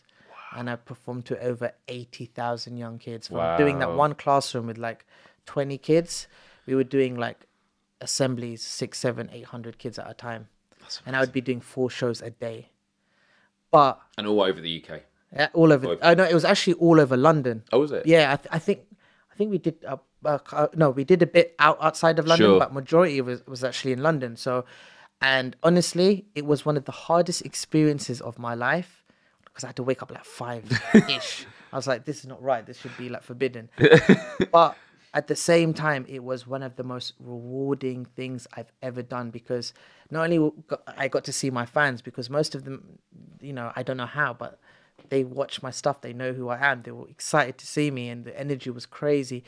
But then knowing at the end, you know, just you know, I'd make them laugh and and and, and I would like kind of you know entertain them. But in the end, just spread a uh, just a, a message. First of all, that you know, us Muslims, we are normal people just like you, um, and also you know, just to the Muslims there as well, just to make them realize that remember that even if you feel like sometimes you're being picked on and you feel like you have to retaliate, not with violence, because in Islam we don't we believe that the that violence and anger comes from the devil. You know, so you know that's not who we are as people. If you look at you know what we actually believe in, Islam means peace. You know, but people obviously don't don't see that because the only time you have you see the heading Islam, it's usually you know attached to terrorist or you know explosion or, or death or you know stuff like very negative things.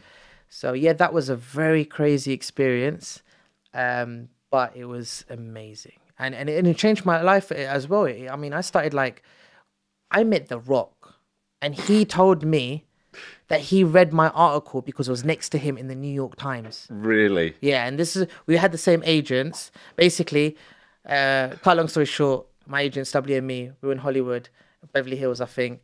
Long table, all these agents. I was like, I didn't even know I had these many agents. They were like, Oh, who would you love to work with? I was like, uh, well, um, obviously my role model is The Rock. So one day, obviously not now, I'm not guessing it.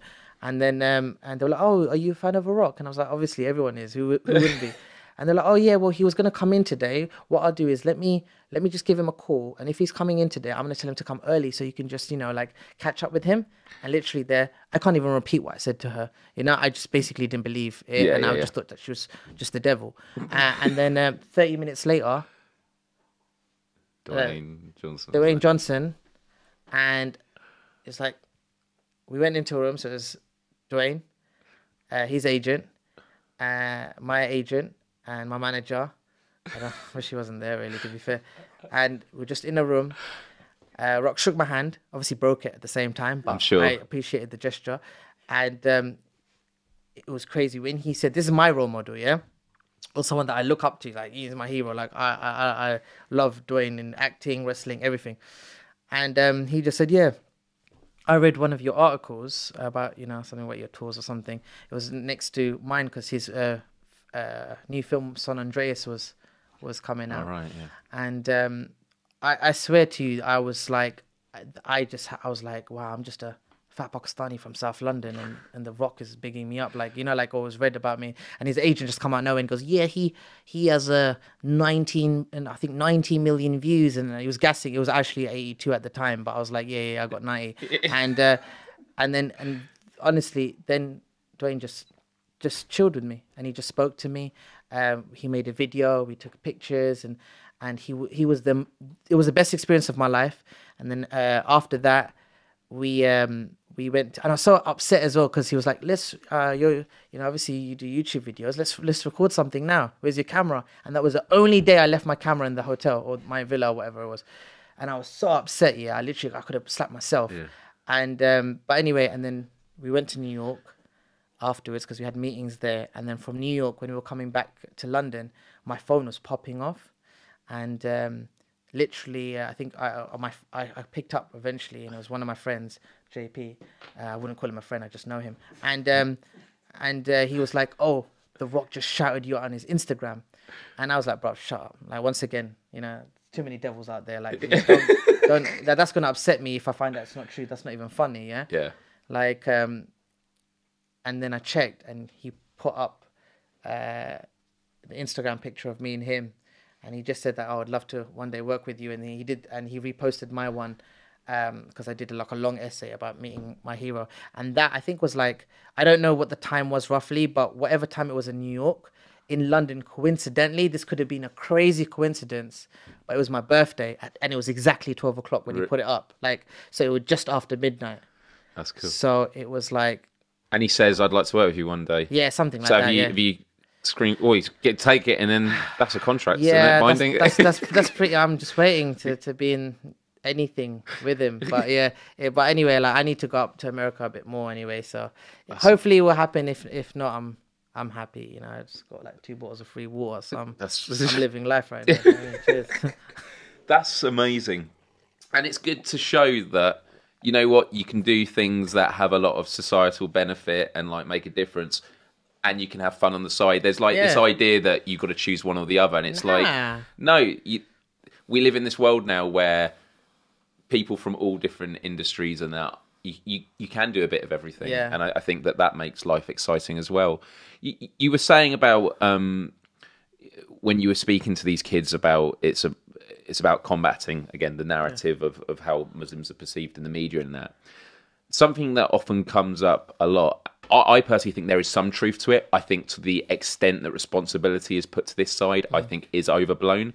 But it's the idea that moderate Muslims need to be more outspoken in the media to Yeah. combat and sort of take responsibility. And we can straight away go, Yeah. so every time there's a shooting, do all white, Yeah. you know, or, or white yeah, guy yeah, shoots, do all white people. But I think there is some truth in the sense of, you know, let's not just say it's about Islam. Uh, I- think ideology is potentially dangerous Mm. if it's fundamental in the sense of you don't use critical thinking. Yeah.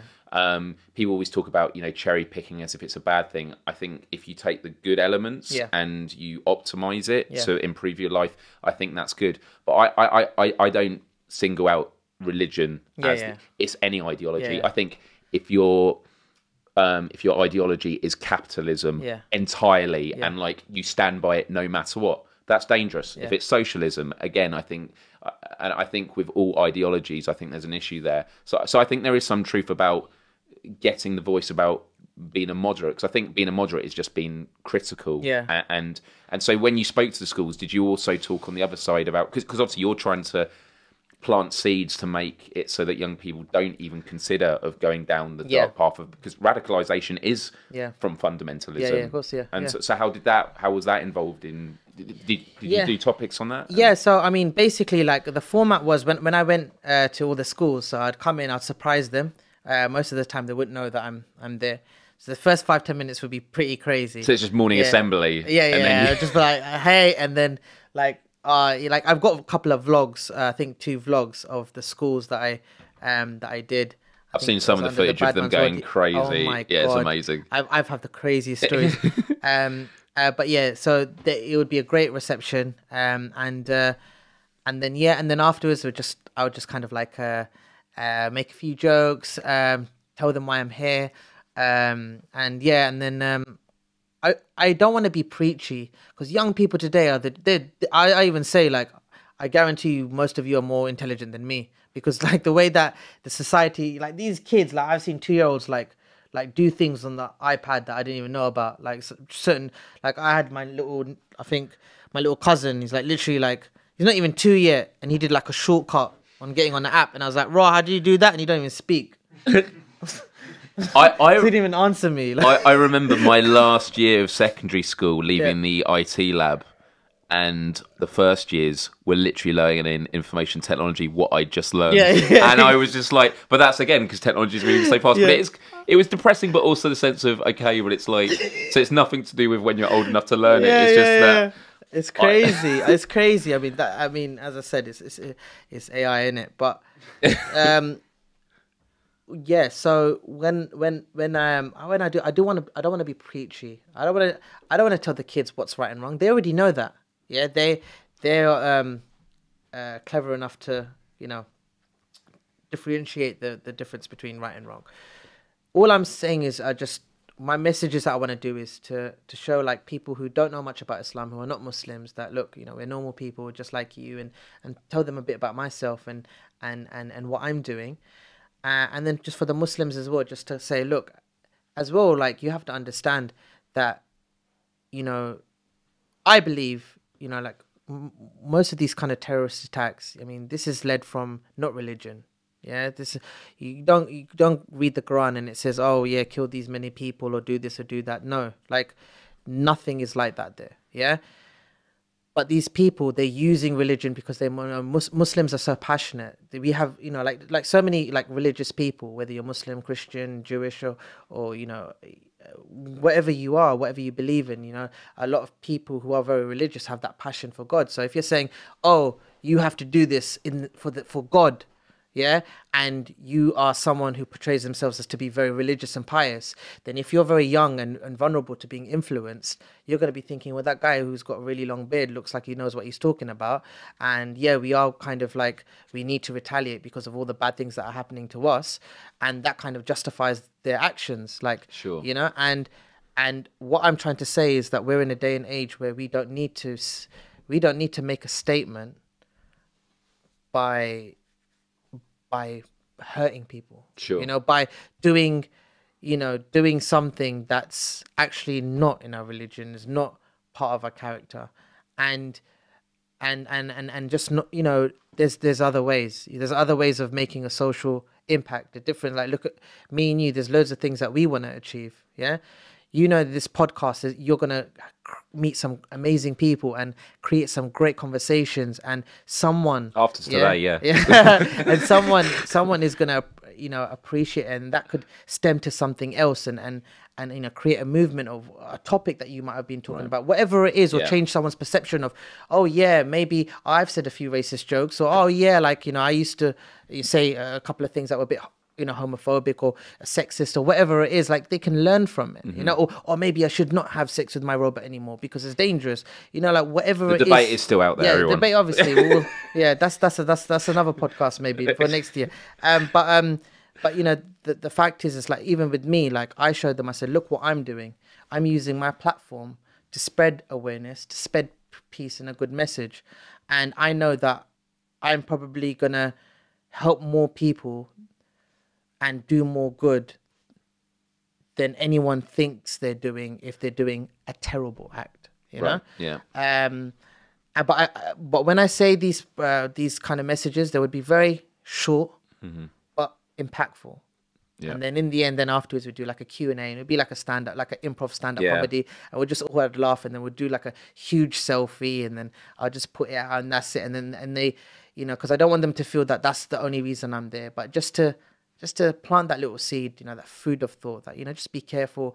You know, we we're a community, it doesn't matter what religion you are, you know, we are growing up and you guys are the future. We need to kind of conduct ourselves where we all kind of um you know, we don't want segregated groups, you know. We don't work like that now. Like we are all mixed. When you look, you know, even just around us, you know, like, you know, we are different people from different backgrounds, but we have the same kind of feelings, the same ambitions, the same Yeah. as.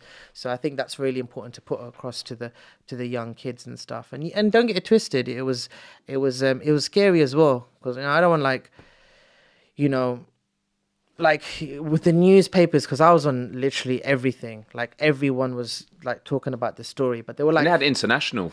Um, Oh yeah, yeah. It was it was as I said, New York To- Times, Washington ABC, Post, CBS. every- everything. Yeah, yeah. Like, literally everything. Um, but then they were like doing headlines like like Britain's best tool to fight like ISIS and stuff like. I'm like, whoa! like I do YouTube videos. Do you know what I mean? Like don't like don't take it there.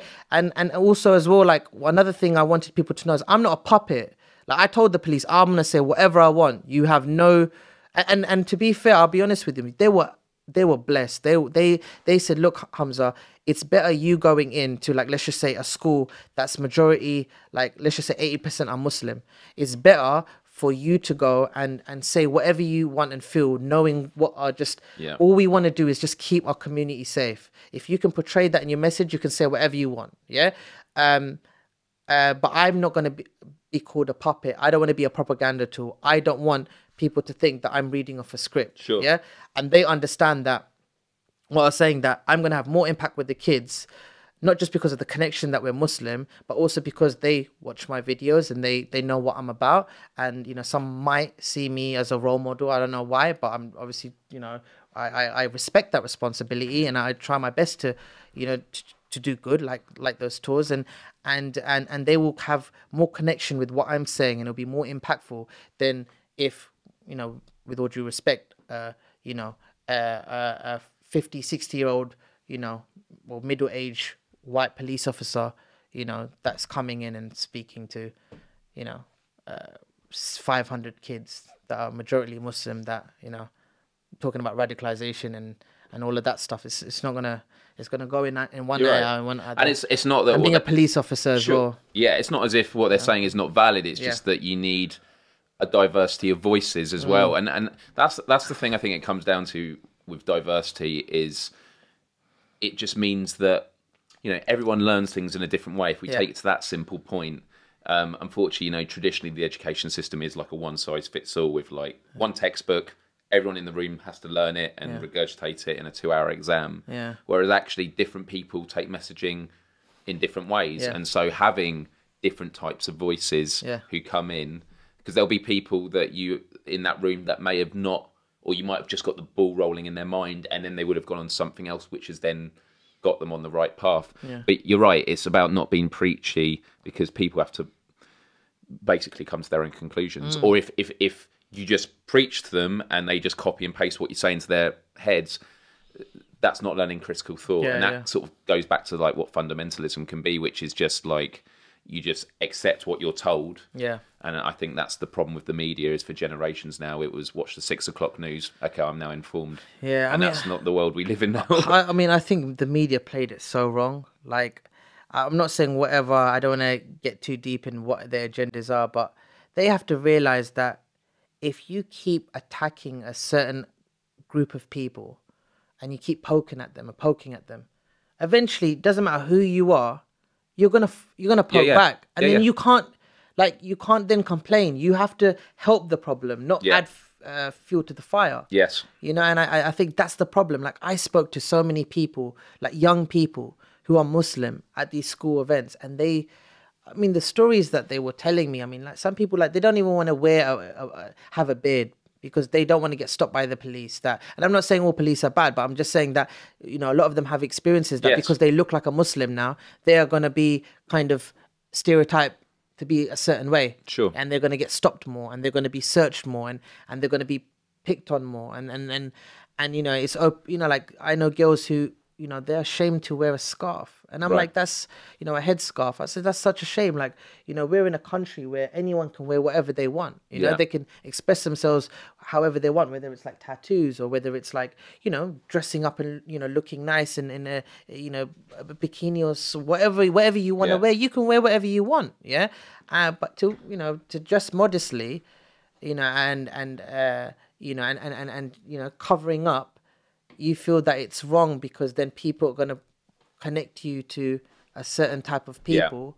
And and that's wrong. Like you want people as i said this is what stems from from the from the start of the podcast. It's about trying to fit in. And i think that unfortunately muslim people and the media has a lot to play with it. Don't feel like they fit in. And i'm and i'm drumming it into the media that look guys you know like I mean, now I don't think it's like this was an issue like four or five years ago that was it was really bad. Now everything's quieting down. Obviously, there's still things that happen here and there which are just terrible. But you know, I think that from like even because we we were we were fighting against jihadi brides. So what was happening was uh, these young girls. Was would- this the three girls that um Yeah. because I, I know it's happened on a Yeah. few occasions, but it was three. I can't remember. You're from East London, It was East London, wasn't it? Mm. And and uh, and basically um, they just got up and left, they just got up and left. And what was happening was these and to Syria. Was yeah, it?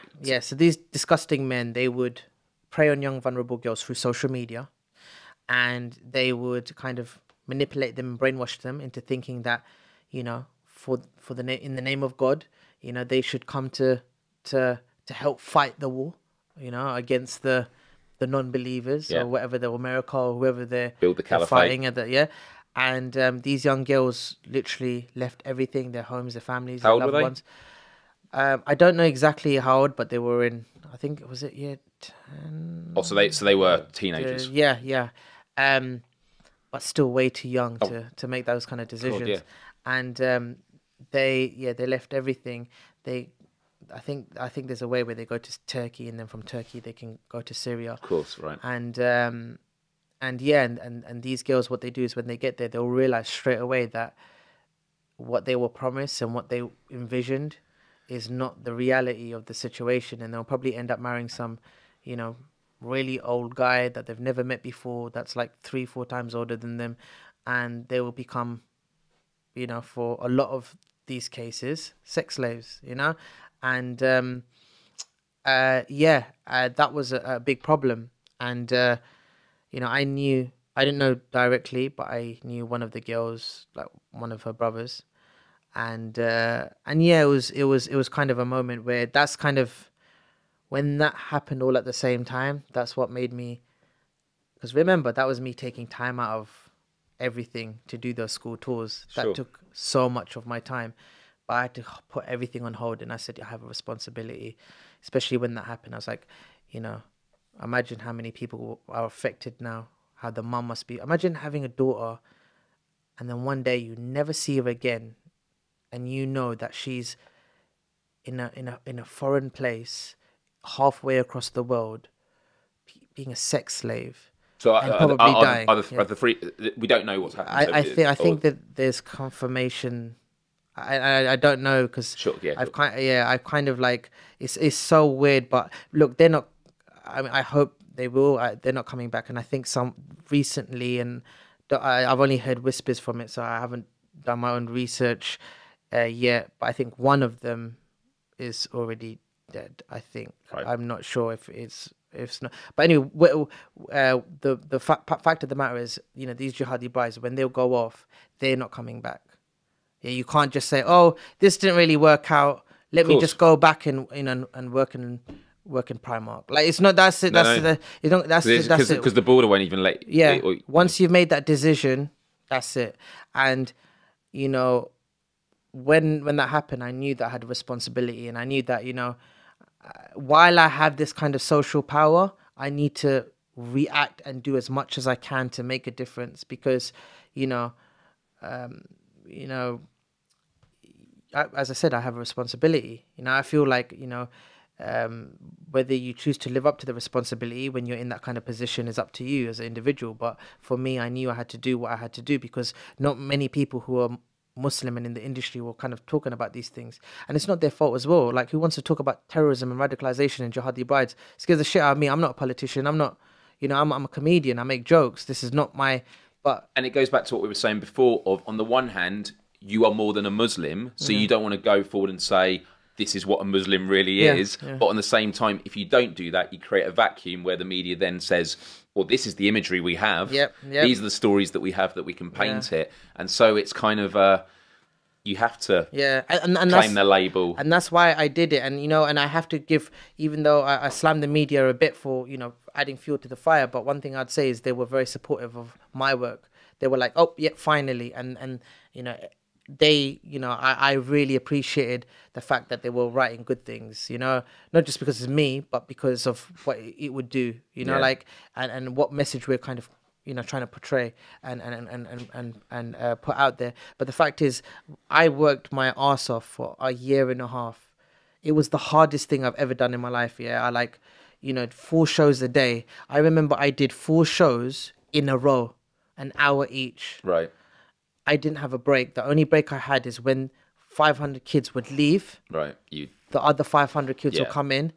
In those two minutes, I would have a sip of water, Yeah. and I, and I did that full in a row. yeah Then I had lunch and I had two more shows. right And that's when I was like, I'm, I'm actually killing myself. But about a year especially ago, if you want to it's come across organic and free flowing and you are doing the same structure yeah, yeah. that, I, I you know- honestly, there was points where I literally thought I'd collapse. Right. Like I was going, uh, maybe it was because it was a bit more personal. I was really trying to. I just knew the kind of. I just felt those weight on my shoulders. I was like, I have to do it. Yeah. Yeah. um, and I wanted to as well. Um, but then about a year ago, I was invited to Scotland Yard, and um, they they presented me with an award. Well, it's not well, not award. It was just a cheap piece of paper, but I took it because it was free anyway. Um, um, and then uh, it was, well, it wasn't like, it wasn't a just a piece of paper. but it's Um, framed now you framed huh? it I don't know where it is. Uh, but the the point of the matter is, I really appreciated it. Obviously. Yeah. Um, and um, no, but one thing that I remember, um, one of my friends who who works with the police, he basically said that the number of young girls that are going off to Syria and, and becoming now jihadi brides now is practically zero. Now, I'm not saying of course. that that's because of me Yeah, and i told you No. after the petrol station incident i would change the world. It was nothing like that. But one thing i know even if i had 1% Yep. to do with that statistic just 1% knowing that i probably changed definitely no i definitely changed one life you know? I saved maybe one life those 130 shows those th- those you know countless times where i thought i was going to die on stage if i've saved one person Yeah. no matter how much fame or money or power you get there's no bigger satisfaction of knowing that i've done something good You were and part of the something pos- and i was i was part of the solution exactly so that was what what was kind of great about the the whole uh the whole situation. And so, as I said, uh, now as much as I can, if I can represent my community, not just as a Muslim, not just an Asian, but as a British citizen, I'll always like do my part. You know, and that's not me being cheesy. Like Yogi is one of my closest mates. He knows that. You know, I, I'm I'm I'm doing this because I know that you know I've been blessed with this platform and and and you know being kind of in the limelight and while I'm in the limelight um it's best to entertain and make people laugh. But if I can do a bit of good as well, that's amazing. Absolutely, man. And you know, I've said it before, but like, it's really appreciative what you do, and like, congrats with those successes. And it's good that you've been able to continue making content like following that, because sometimes you might think if you go and do that for a year, Yeah. you say you take a break. Is that now? Because it's not to say that you wouldn't mind doing that still, but sometimes when you go down a route in life, you're always worried: is there actually am I going to be able to pick up from where I was? So, so when you do videos now, what what has changed with your videos pre doing that tour and afterwards? Is there anything? Because obviously, hmm. I know you want to say, "No, I've kept my integrity. Yeah, yeah. Nothing's changed. It hasn't changed for me." But there must have been some things that fundamentally that you may, even if it's not what the product is, but just the way that you approach it. You know, to be honest, I think the one thing that's changed, like I was always passionate about helping others, but when I literally went out of my way and did something that I knew that I was literally 100% being selfless and not, sorry, not thinking, not being selfish and, and, and, and thinking this is about me, but actually going out of your way fully to make a difference and make a change and then seeing the positive outcome from it that made me now with my work always think that whatever I do, and I ha- obviously I'm a comedian, but obviously I love to create. Like right now, we're um for uh for the creators for change. Um, we're, right now we're working on um, our project is um uh about a toxic masculinity. Right. Yeah, and and last year when I did it, um, because when the ambassadorship happened, I was like one of the the, the first. So, and and on that time I had to do four videos. I did one about bullying, Right. one Yeah. about uh, mental health, one about Islamophobia, and one about uh, knife crime. Because basically my cousin got stabbed like four times, and both of his lungs got punctured, and he nearly, yeah, it was like a gang in. Uh, it was actually in Eltham, you know where Stephen Lawrence. Oh yeah, it was literally like two minutes from there. Um, it was one of the craziest experiences ever, and I just kind of retold the story. Um, but uh, yeah, that's another story. But I am going to get back to that. Yeah, yeah. When, when, when we when we did those kind of videos, like I'll just I'll use the bullying one as that was my like my my first video that came out uh, for the Creators for Change. Um, when I did that, and obviously after I did all the tours, I realized the impact that it was making. And when I put that bullying video out, I remember I remember going through my comments. Now I don't I don't like going through I don't know about you, but I don't like going through my comments very much unless I know that okay. Because you know you'll get like a hundred really nice ones, And and, then then you'll one get one will be like, "Oh, you you're looking really fat," or "Oh, you you got dry skin on, on your top right eyebrow," and I'll be like, oh, "Sure," you know, like he's right. Damn, I'm a bad person. Like it can get to you. But I remember going through that till five in the morning because there's like thousands of comments, and I swear to you, every and I'm not I'm not really an emotional person. I, I would say uh, no. I think I'm, emotion, I'm emotionally intelligent, but I think I you know I feel that I I kind of I kind of control my emotions very well and bottle it and not bottle it inside, but like keep it you know uh, controlled. But I was so I was getting really emotional because I re- I realized how many people this is helping. So I think that the more things that I do of this, the more benefits I see, and the more hungry I become to, you know, to do more videos that can help anyone in situation. Like literally, I, I've got so like I'll tell you this one quick story as an example. And this is not even about the tours; it's just my work in general. Because Sure. with Diary of a Badman, I always had a message at the end.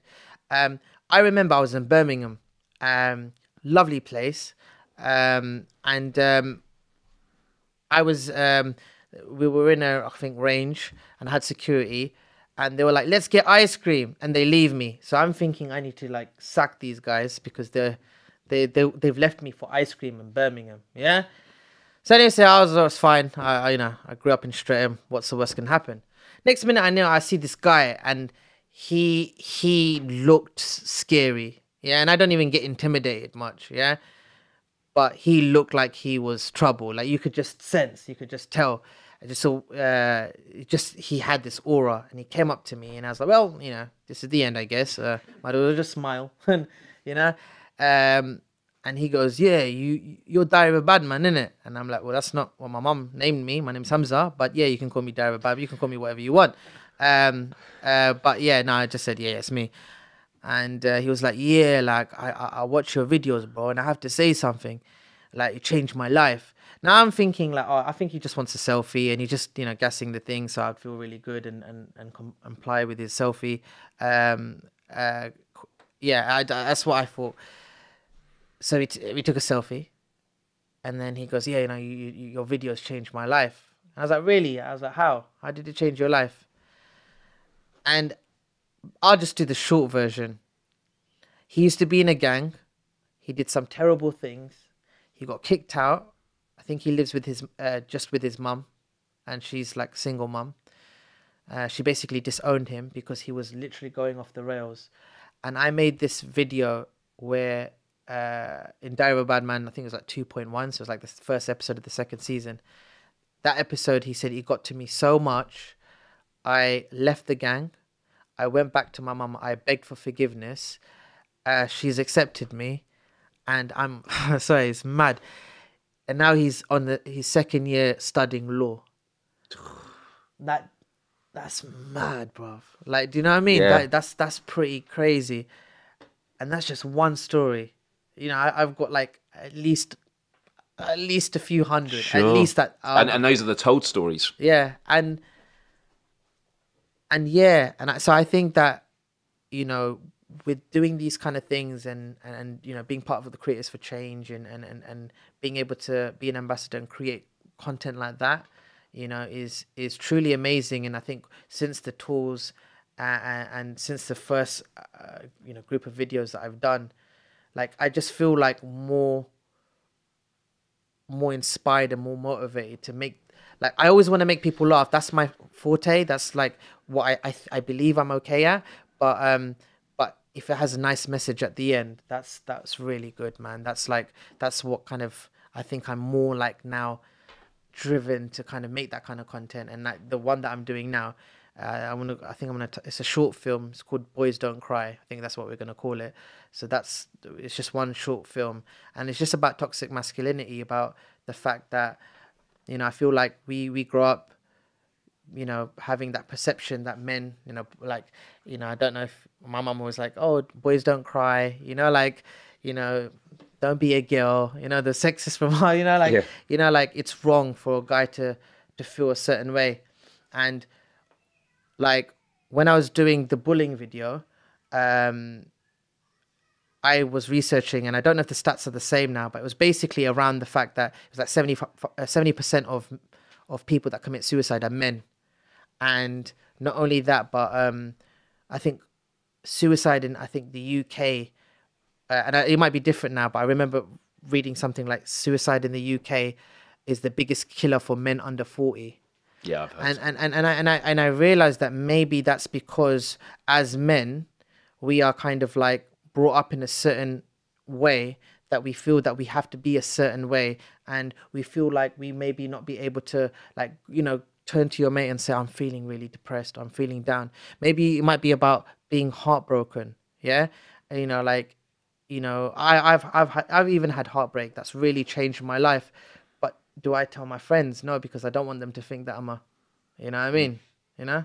it goes back to what we were talking about right at the start about again static senses of being, whether it's where you live, in terms of what gender you are, hmm. and like what your role is. Because my my parents were fortunately very like open and weren't very judgmental. That's really good. Um, yeah. I mean, one example I tell, uh, and my brother's, I was going to say, forgive me, brother, he hasn't got a choice now because I'm going to tell it.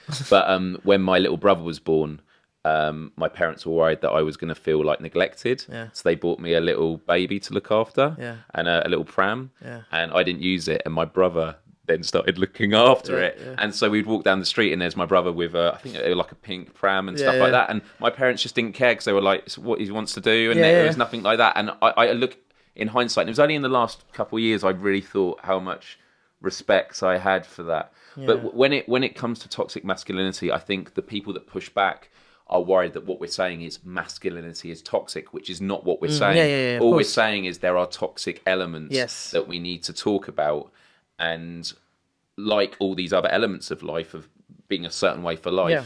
There are people that think this is the way it is to be a man, Yeah, yeah. and now that's been challenged. It's like, so where is my place once more? Yeah, yeah, yeah, and so it is a, a painful thing. And I think about when I was, at, especially at secondary school, I didn't feel like a lad. Yeah. Um, again, I'm gonna, in a weird way, by not being a stereotype, I feel like I am stereotyping, but like I wasn't that into sports. Yeah, yeah, yeah. Um, I wasn't particularly, is it boisterous the word? Um, Yeah. but I just, I didn't really fit in in that way, and um, it makes me think about like the way that we need to sort of talk about these things because the truth is although we kind of know the direction of travel Hmm. we're still trying to work out what the best way of dealing with these things are because as we start tweaking society Yeah. and having conversations new problems are going to arise Yeah, yeah. and we might make mistakes along the way and Yeah, cause more harm than good but we should at least try and i think that's sort of the big the big the big push we should be doing Yeah, yeah, hundred percent. Yeah, I agree with that. Yeah. that's awesome man well listen thank you so so much for coming down Nah, th- you know what? I've actually I've never done like a proper podcast. This was so much fun. right You just talk and people are gonna listen. Do you know what I mean? And, and the thing I've noticed, and I mentioned it beforehand, is kind of the first 10, 15 minutes feels like Yeah, an yeah. interview because when you get asked questions, you have sort of in mind what an answer will be, but then it just opens up. But like, actually, ironically, based on a lot of the stuff we're talking about, nuance and sort of, you know, being forgiving and realizing people have imperfections, this format kind of allows for us having those stories and realizing that we have all the time in the world to explain ourselves. Yeah, yeah, Because yeah. when you do a video five minutes long, you'll you'll make some points, and someone in the comments will go, "Oh, but what about this?" And they may have misconstrued you, or you want to respond, but then there's a massive chain of comments, and it's yeah. like, "No, no, no, no, I didn't mean Yeah, that." yeah, yeah, yeah. And of course, there are going to be people that might pick on something that we said in this video, but I think the very nature of just having long conversations, it just humanizes the whole thing to realize that we just have ideas, we discuss it, and we're willing to learn off each other. I think that's a great way to sum it up, really. And I, I think, I mean, we're creating history. Like people will, you know, the way we're evolving, people will watch this and whether it'll be a few years, five years, ten years time. Tomorrow. yeah, yeah, tomorrow. You know, yeah, tomorrow. And and and and and we're creating history, and we're like basically just talking about our stories, our mindset, I, I, I, for for now and, and and the present, and and and yeah, and hopefully we can. Yeah, do this again because this was super fun, man. I'm glad Thank you think so that. much. Yeah, yeah, and, and, and that's so why and that's why I've called it the quest for global empathy because it's this idea of empathy is all about shared experience. Yeah. And it's that no one has all the answers. Yep. Mm. No one even has all the questions, and so all we can do is just bounce off each other, and you and I will. Definitely come away with some stuff we didn't think about before. I definitely have learned bots, from stuff. Yeah, yeah, yeah, that yeah. too. Uh, the dogs on the bridge, although not to bring that up again. Yeah. Uh, 650. yeah, That is still the dumbest thing ever. If I heard that 649 people took their dog to a bridge and the dog died, I'm not going to be like, well, it's not going to happen again. I hope no one listening to this podcast is going to go, oh, I might go for a walk." Yeah, no, no, no, no. We do not condone No, that. no, no, no. Watch the video. Don't, yeah. Yeah, yeah, yeah, absolutely. But um, thank you so much, Humza, for coming down. And uh, I'm really glad we got chatting through Creators for Change because it's been a great initiative. And uh, good luck with all your future projects. Thank you for having me, man. I appreciate it. Cheers, dude. Love, man. Love.